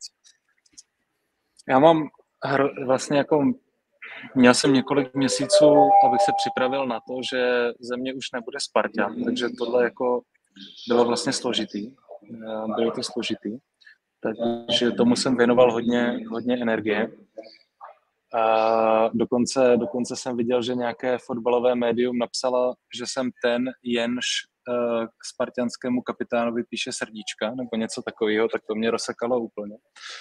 Uh, takže to, to, to bylo fajn. Uh, no, hele, takhle, upřímně, líbí se mi ten marketingový res, restart právě té Sparty, líbí se mi logo, líbí se mi dresy, přijde mi to jako fakt, fakt pěkný. Myslím si, že to uchopili jako velmi dobře. Co se týče klubů jako takových, ono je to všechno strašně, víš co, to si řekneš, hele, třeba ten prostě Bayer Leverkusen, tyjo, mladý trenér, regionální město, no ale pak si vlastně uvědomíš, že oni mají ve jménu ten Bayer, což je jedna z největších jako chemických korporací na světě, že jo? Takže s tím se taky nemůžeš srovnávat. Pak se podíváš na Gironu, která hraje krásný fotbal, mají evidentně uh, jako famózní scouting, protože tam mají hráče, kteří jsou, řekněme, jako ve středních letech a vystřelili jako velkým způsobem ale pak si vlastně uvědomí, že oni prostě patří do City Football Group, no. Takže to je jako těžký, jo. Jako eh, takhle, klub mého srdce eh, do této sezóny byla Sparta a Chelsea. Od této sezóny je to Tottenham a Liberec. Takže asi takhle. Okay. Uh, jsme mysleli, že Newcastle. Uh, to zůstává pro baníček. Ne, ne, ne. Kamaráde, jestli ty žiješ v té realitě, že při první situaci, kdy prohrajete se Spartou, anebo tam prodáš nějakého hráče a budou mít pocit, že to je za trošku mín, tady to na tebe jako nevytáhne. Tak to, to, to, jako... Počkej, uh, pro mě... To bude denní chleba, to bude denní chleba, kamaráde. Já se omlouvám, jestli teďka tady je... Jo, dobrý už. Tady byly nějaký zvláštní zvuky. Ne, já jenom chci říct, že pozor, já jsem tyhle zprávy taky dostal. Já jsem jako extrémně extrémně, extrémně kompetitivní člověk a jestli někde budu mít největší motivaci někoho porazit, tak to bude určitě jako Sparta, jo? takže eh, já to mám postavený úplně opačně. To je jasný, ale když to to povede, tak to nikomu nevysvětlíš, nebo určitý část lidí to stejně jako nevysvětlíš. No, a když tady jako, mluvíš o tom, pro... tak se vůbec vlastně ta debata nemá žádný smysl, to ten handle. Uh, takhle, kdy, kdyby se mě zeptal, kdo je můj nejoblíbenější trenér, tak ti neřeknu, že to je Radek Kováč, ale řeknu ti, že to je Postekoglu, takže to je prostě jako, takže já to mám, já to mám nastavený takhle, no. A ještě já jsem myslel, že Pavel Abel. No, přece jednáte za Palem, ne? Vaník úplně nervózní, že by oni přišli, ty vole, co by tam dělali, ty bláho. To je trošku nervózní, Ondro, ale jestli můžu mluvit za Baník, je částka, za kterou bychom ho nechali A není vysoká. Vy byste ho uvolnili. Jsou, jsou některé nápady, které jsou, které jsou zajímavé. Ano, zamysl, zamyslím se nad tím, zam, ale, ale Baník je, já bych to řekl takhle, Baník je přece před Libercem v tabulce, ne? Eh, takže podle mě by to vlastně nedávalo, z výkonnostního hlediska to nedává smysl. Já si myslím, že Baník to má dobře rozjetý a nechtěl bych jim to kazit. No právě, my kdyby jako vy jste se nutně chtěli na nás dotáhnout, tak jak říkám, existuje, musí, to sám víš, že uh, všechno má svou cenu, jak říkal Jimmy Hoffa, a jaká je ta vaše. Takže uh, takže ano. i Pavel Hapal J- Jimmy, Jimmy Hoffa no. takzvaně věděl, kudy běží zajíc. Do určitý chvíle, než se trochu zapomněl v tom autě. Ale, ale to jsou jiný levely. No nic, kluci, tak jo, já myslím, že to víceméně máme. Něco, na co jsme se měli zeptat a nezeptali jsme se. A ty si to chtěl tady říct, otajnit nebo zúraznit?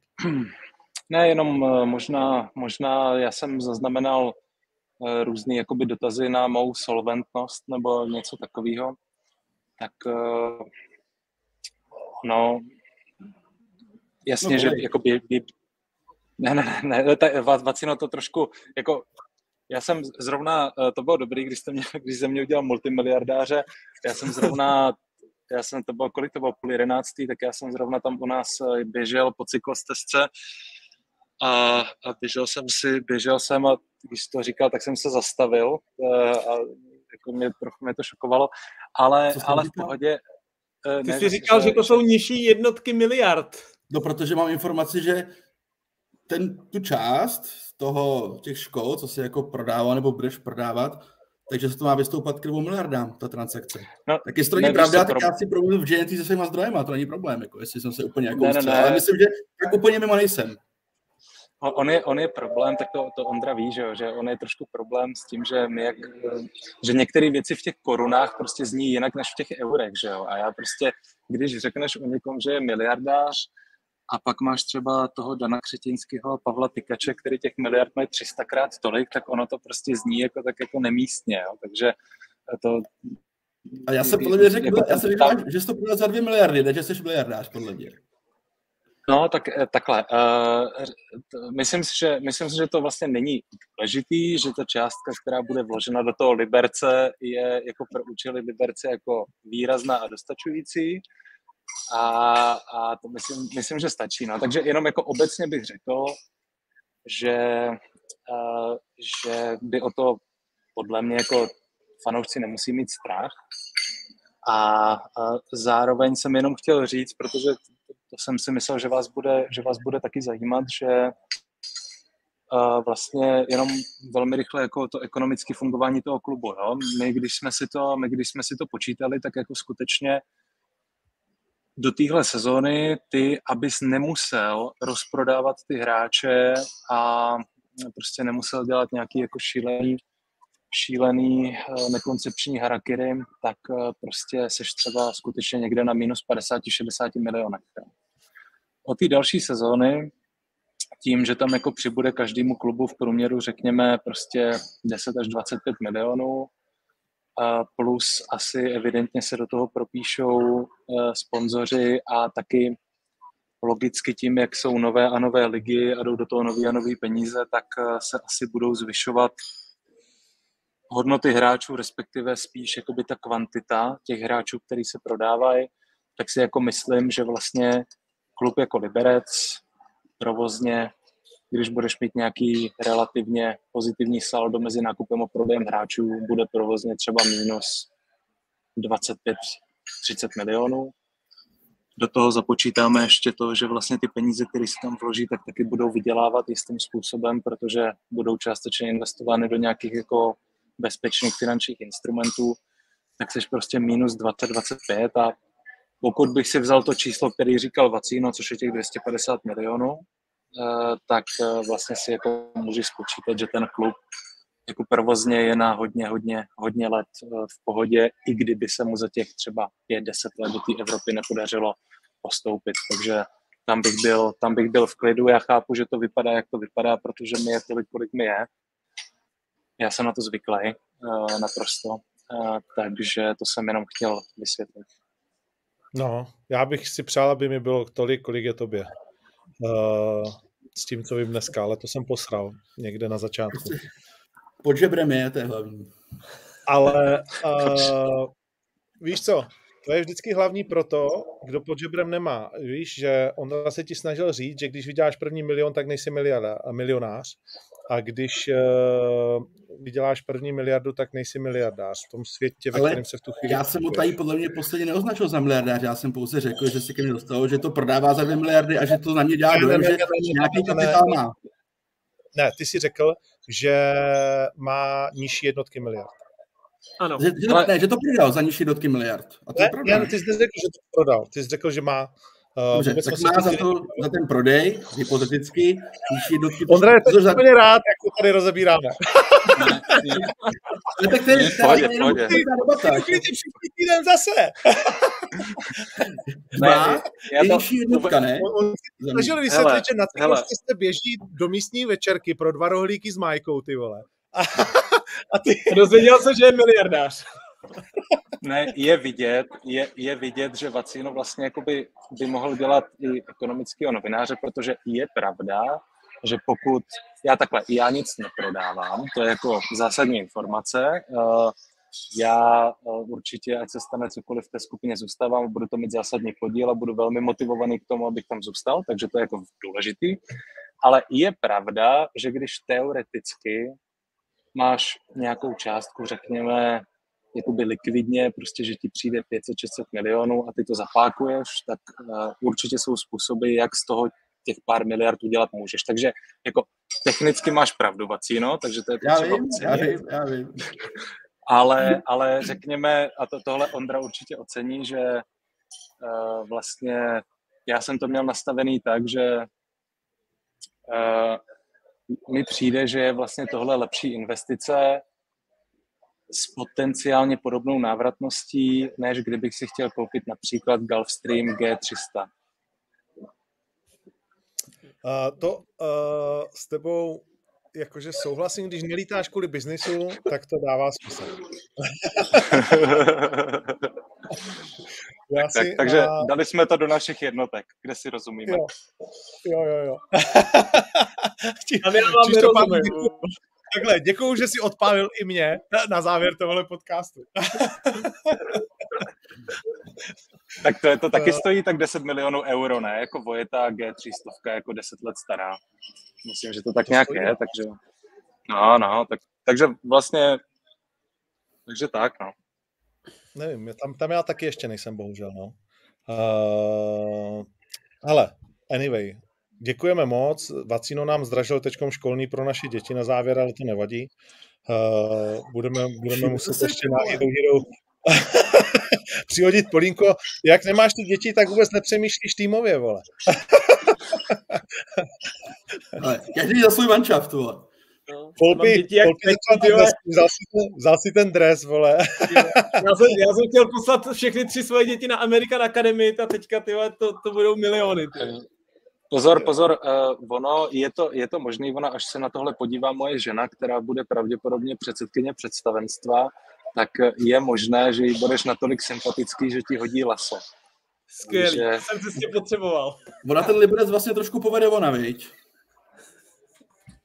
No, tak to, to, bych, to, to, bych byl nerad, to bych byl nerad, aby z toho vzešlo, vzešlo tohle, jenom abych to jako uvedl na pravou míru, tak uh, moje žena, byť je mladá, tak je velmi, velmi, velmi úspěšná auditorka finančních institucí, takže určitě ona bude ten člověk, který bude dohlížet na to, že se uh, utrácí tolik, kolik jsme měli schváleno v business plánu. To nepochybně ano.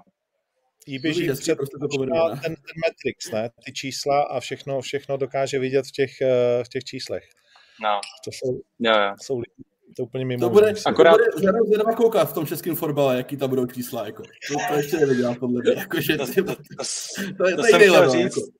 To jsem chtěl říct, že ona je schopná pracovat v desítkách a stovkách miliard a teď se bude muset trošku jako posunout, no, takže... To jsou drobní, no, Počkej, proto jdete na tu Chelsea, vy se jdete seznámit s nejmojší ženou eh, vlastně fotbalu, ne? Tam je ta Máša, jak se jmenuje? Už není, už není podle mě. Už tam vůbec není? Já myslím, že ne, ne. Že už tam je ten Belly s tou svojí partičkou. Od té doby, co to, no ale tak ještě pořád tam bude nějaký vliv mít, no, možná. Ne. Ale jak ten Belly taky dobře ukrásí, to je taky jako super vzor. Uh, Be- Belly, já... Kdo? To ženská? No, Abramovič vlastně měl, že jo... Uh, no tak Ranovská, to skončila s Čechinem podle mě v té době. No, ano. A to, všich, to všichni říkají, měl... jako, že je největší špička, jako se kterou kdy no. jako jedna, že to je že to je frajer. Já, já mám uh, ty Chelsea, já mám samozřejmě za velký vzor, já se s, s Tedem uh, Baleym znám osobně. Uh, já, protože my máme školu i v Katalánsku, tak to je závěr, uh, historka na závěr, uh, příjemná. Uh, tak my máme školu v Katalánsku a já jsem tam letos byl asi desetkrát nebo jedenáctkrát, protože je to skvělá výmluva na to, když chceš jít na dovolenou, takže jdeš na pracovní cestu, že jo? že máš u Barcelony školu. A je tam taková jako restaurace, dobrá, velmi oblíbená naše. No a chodí tam i vlastně prezident Barcelony a celý to vedení. No a to bylo loni v červenci, když on tak nějak jako byl velmi čerstvě v Chelsea. Takže on tam přišel uh, a teď se tam zdravil ten majitel té restaurace s tím prezi- El prezidentem a tak dál. A teďka říká to do mu, Eh, a, a vy jste kdo? Vy jste tady kamarád eh, pana prezidenta? A Boldy říká, jo, jo, jo, jsem. Já jsem nevěděl, kdo to je. Tak jsem šel na záchod, předtím, jsme odjeli, tak tam byl uh, nějaký jako člověk, tak jsme tam jako byli vedle sebe, že jo. No a teď tak odjíždíme, otevřeme dveře z té restaurace a teď tam bylo jako, myslím si, že nepřeháním 35 novinářů a tak 15 kamer a tak dál, který nás jako natáčeli a tedy. No a my jsme hnedka začali googlit, jako kdo tam byl, že, jo? že jsme vůbec jako nevěděli, přece prezident Barcelony je normální věc, že chodí do restaurace, kam chodí už 30 let. No a potom jsme vlastně zpětně zjistili, že to nebyl Chris Hemsworth, ani nikdo takový, koho jsme si přáli, ale že tam byl Ted Bowley a já jsem byl vedle něj, vedle něj na záchodě, takže jsme osobní přátelé. Nebudeme řešit tak moc osobní asi. tak mu tu dneska připomeneš uh, ve VIPku tuhle tu historku. Kámo, jsme tam ty ty spolu chceli, vole, v té balse. Prosím tě, zvoní mi telefon, mohl bys, jasně.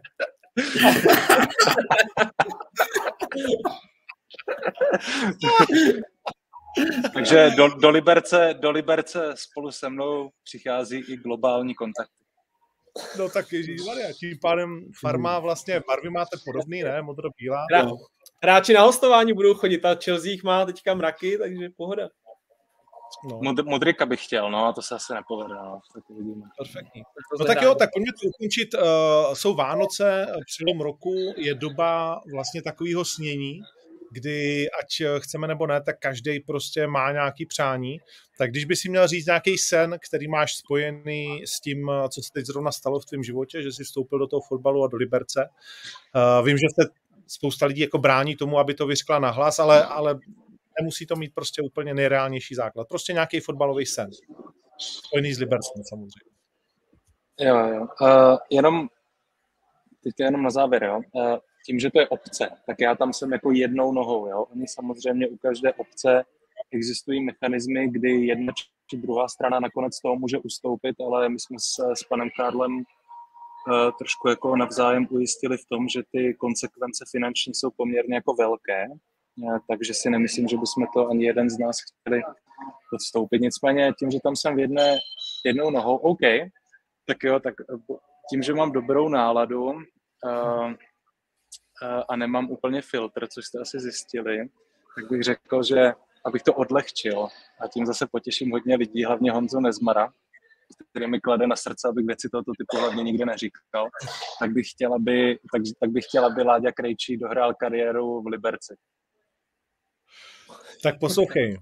Věci, pozor, věci. Myslíš Láďa Krejčí mladší, ale? No, samozřejmě.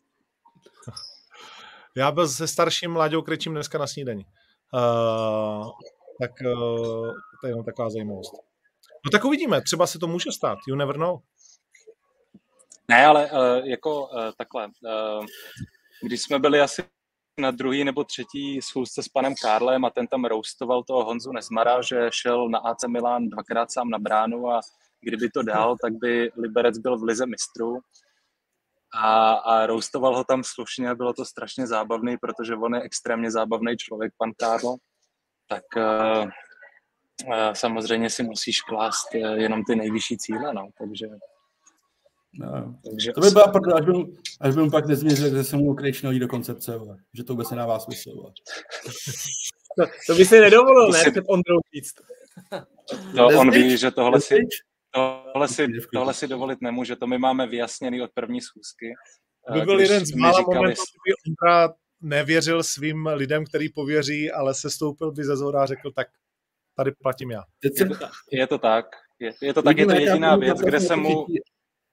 Ne, rada, je to jediná věc, kde jsem mu už na začátku řekl, že tohle je moje červená linie, že to je věc, prostě přes kterou nejede vlak, takže tam jsme naprosto v souznění. Tak se mu počkáme, jaká kavka z toho chytí a začne rozjíždět linku, že Krejčí jde do Liberce, vole. To je prdel. že už se to řeší, jako. První, jako, prv, bylo to vykopnutý, bylo to vykopnutý. No tak jo, tak fajn. Uh, tak jestli nic nemáte, uh, Folpy a Vacino, tak uh, si myslím, že tahle část dnešního zajíce je naplněná. Skvělý. Skvělý tak Ondro, my Myslím, že to bylo, že to mělo takové to vánoční zajímavé tempo, hodina 50 dokonce. Uh, Vacino, my se za 10 minut máme vidět, to nevím, jak to zvládneš. Ale... Ty za 40 minut doufám. Za 10 to nezvládnu. Jo, no. Ve 14. Okay, nevadí. To stihnu, 14 stihnu. Nic, pojďme teď ukončit Ondru, my si to tady ještě dokopneme. Takže Ondro, děkujeme, přejeme ti hezký zbytek Vánoc, užij si dnešní fotbal, byť si myslím, že jsme to, my jsme to hodnotili před chvílí, že ta Premier League je strašná nuda, vole, nefandí se a, a vlastně stojí to za hovno. No, na té Chelsea zvlášť, jakože to fakt... No to je ano. No. Nic jiného nebylo. My, my jdem zítra, my jdem zítra na samozřejmě Arsenal West Ham, že jo? Takže no, jako museli, no, museli, jsme vyplnit, museli jsme vyplnit něčím čas, no, tak jsme si říkali, hele, Book of Mormon nebo uh, nebo, nebo Chelsea, no, tak jsme šli na Chelsea. Takže no, díky, kamarádi, hele, díky. kamarádi s tím Belim, že jo, takže tak. Jo, tak přesně tak, přesně tak. Takže, takže tak, takže díky moc, těšilo mě a hezký nový rok. My děkujeme taky. Ať se, ať se, ať se daří. Hodně štěstí. Díky. Jste ideály. Dokud můžeš. Tak. Uh, no, jaký z toho máte první take? Uh, ale za mě pozitivní, myslím, že budeme teda v čase možná sledovat trošku proměnu jako toho vnímání, jak to může fungovat, si myslím, v mnoha směrech. Ale z mého pohledu jako hodně racionální přístup teda. A když bych to třeba srovnával s tím, bavil jsem se o tom, že s jakýma vidinama šel Podry do Budějovic, byť je to jako jiná role, tak myslím, že tady Ondra stojí mnohem víc na zemi. Byť si myslím, že ten model, který jsem jako pochopil, že vlastně nemá ambici z toho klubu saře jako tát peníze, ale zároveň jako, tak jako ne, nepočítá se, že by každý měsíc měl dolepit 40 milionů ze svého každou sezonu, že to bude těžký i tak ten model nastavit, si myslím. Jako.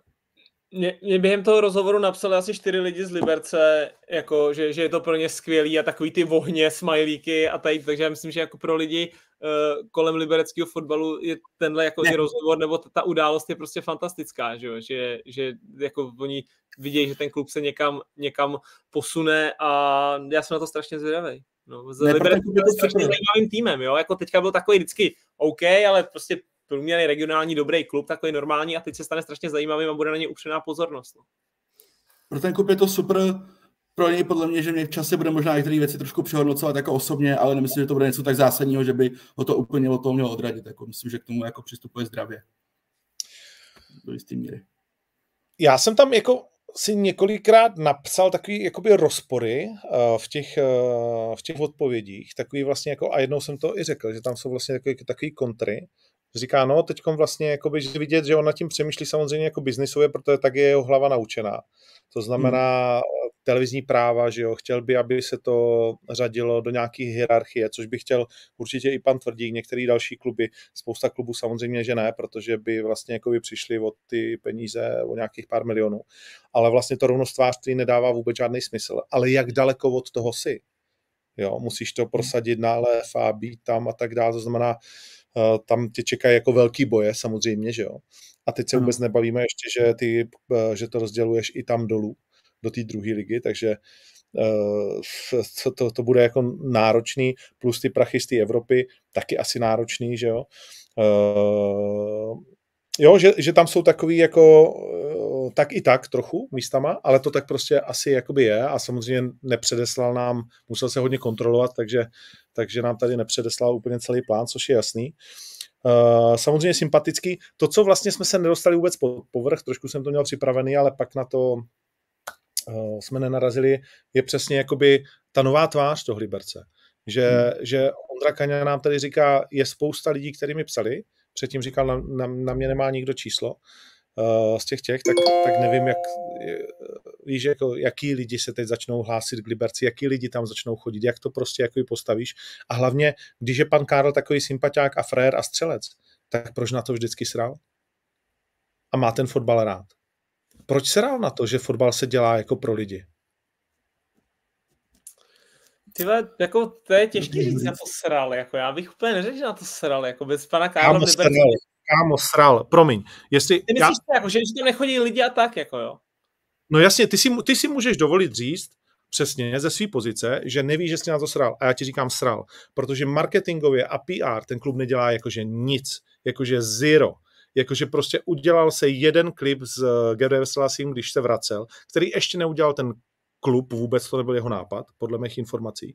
A Nebyl. vole, a na to už se nikdy nenavázalo, předtím nikdy nic nebylo a sereme prostě jakoby na vás. Jo? A necháváme se tady uh, jebat do prdele vole od hokejového klubu, kam lidi chodí a my tady jsme prostě jako přesně, co říkal Ondra Kaňa, uh, Bůh ví, jestli tam chodí tři tisíce lidí, nechodí, že jo, všichni to hmm. víme, že nechodí. Takže, takže o čem se vlastně jako bavíme. A ty, a ty vlastně jako musíš dělat konstantní jakoby práci s mládeží, školama, v regionu a tak dále. Proto já jsem se tak smál v Liberci, vole, je, já v hmm. Liberci několikrát byl, já jsem tam v životě neviděl uh, žít to město fotbalem, že by tam byly uh, billboardy, že by ho cítil každý den v tom městě. V tom městě musí být ten fotbal cítit každý den. A to jo, se nikdy ale... jako za mě nedělo. No, je to pravda, ale podle mě všechno to musí vycházet od toho, že ten klub jako někam bude směřovat. Prostě Liberec je jeden z mnoha klubů, který fungují jako z podstaty. Jsou v lize, občas se zadaří dobrá sezona, čtvrtý, pátý, nějaká Evropa, pak devátý, jedenáctý, sedmý, všem to vlastně bylo uprdele. Vlastně hrál si vlastně vohovno reálně. Teď, když tam přijdou noví lidi a dají tomu fakt třeba ten směr, tu vizi chceme jít tam, tam, tam, tak to třeba pro ty lidi bude jako snaží se s tím identifikovat, že v tom uvidí nějaký život, že to někam míří. Že máš, nebyl za mě typický klub, který tam vlastně ty lize byl a vlastně bylo to jedno. Viděl si, že nespadne, viděl si, že nevyhraje titul, až na pár výjimek samozřejmě, vlastně že to jako bylo jedno, že co jako.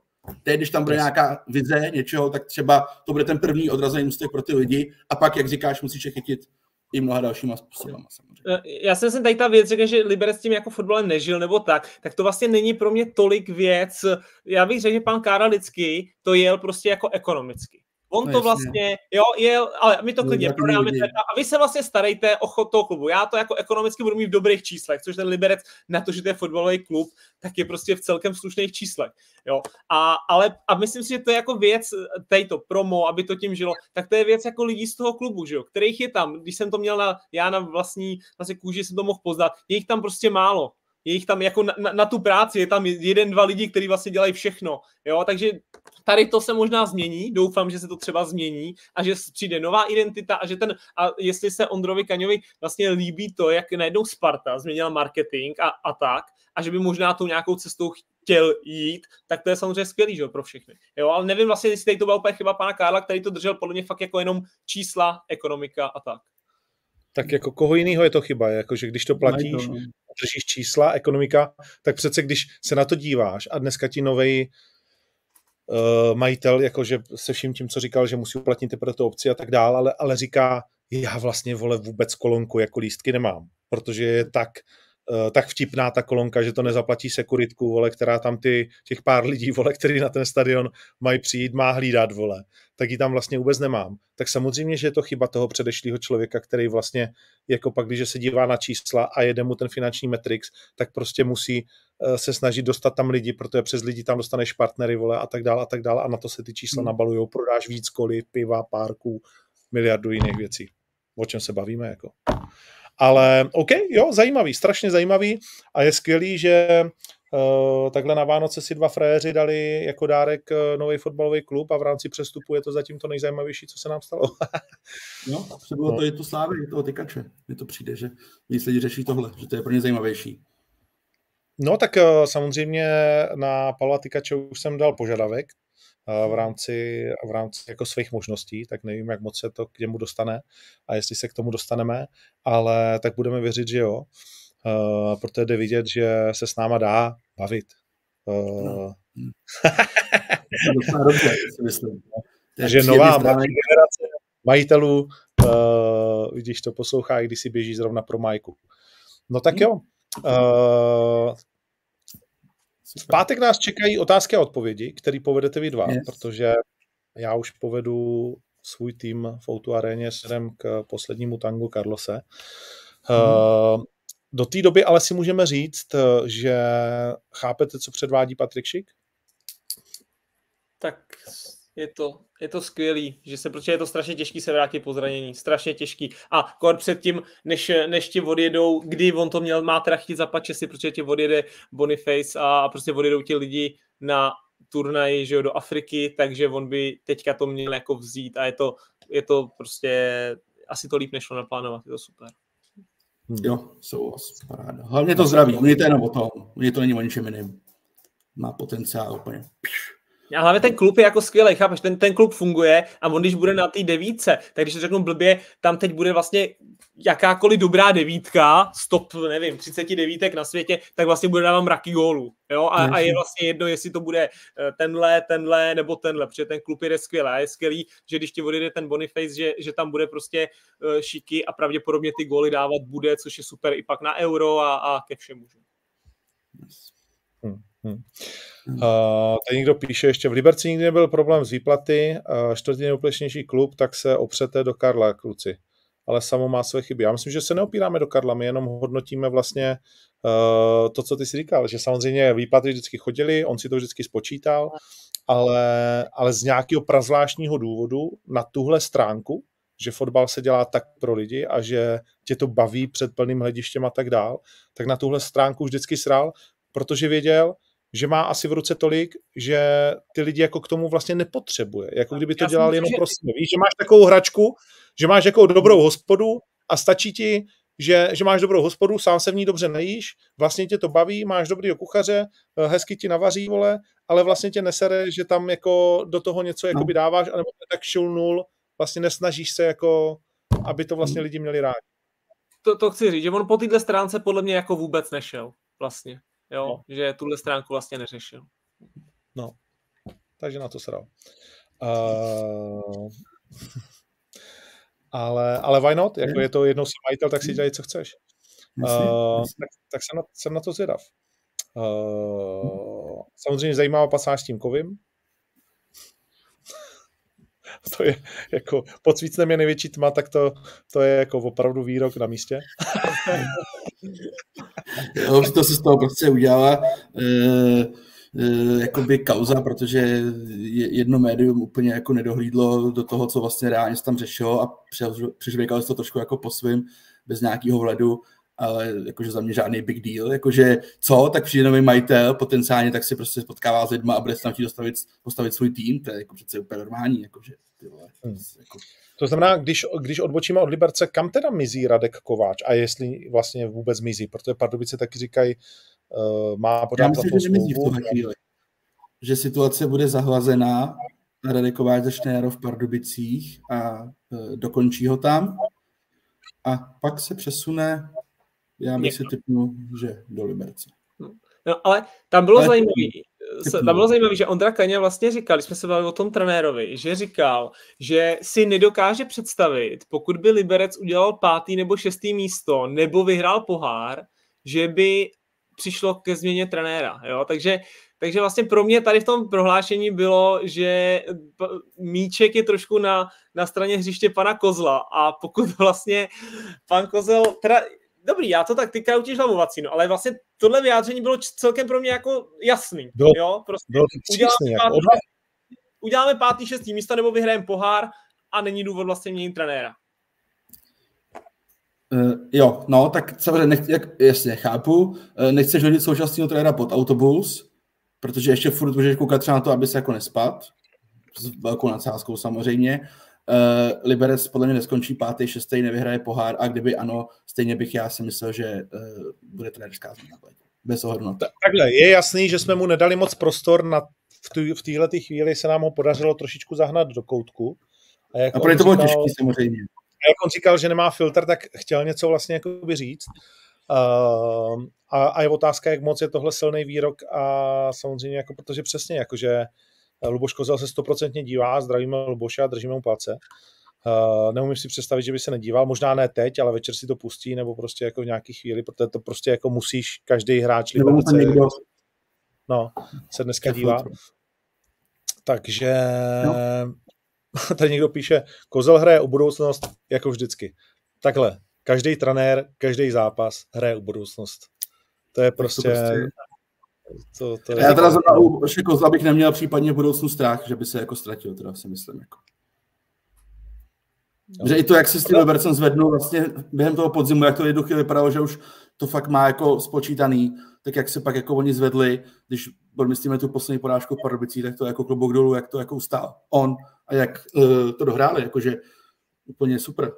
Ale víš co, to nemusí být čistě jenom o té výkonnosti nebo o těch výsledcích. Prostě uh, já nezmar mám třeba jiný požadavky na trenéra, to by jsem si o to, že Božko je špatný trenér. Jenom prostě tam hledá někoho, jinou ne, já jsem, to chtěl, já jsem to chtěl doříct, ale když on nám to přesně řekl, ten Ondra Kaňa, on by nám nezapadal do té koncepce.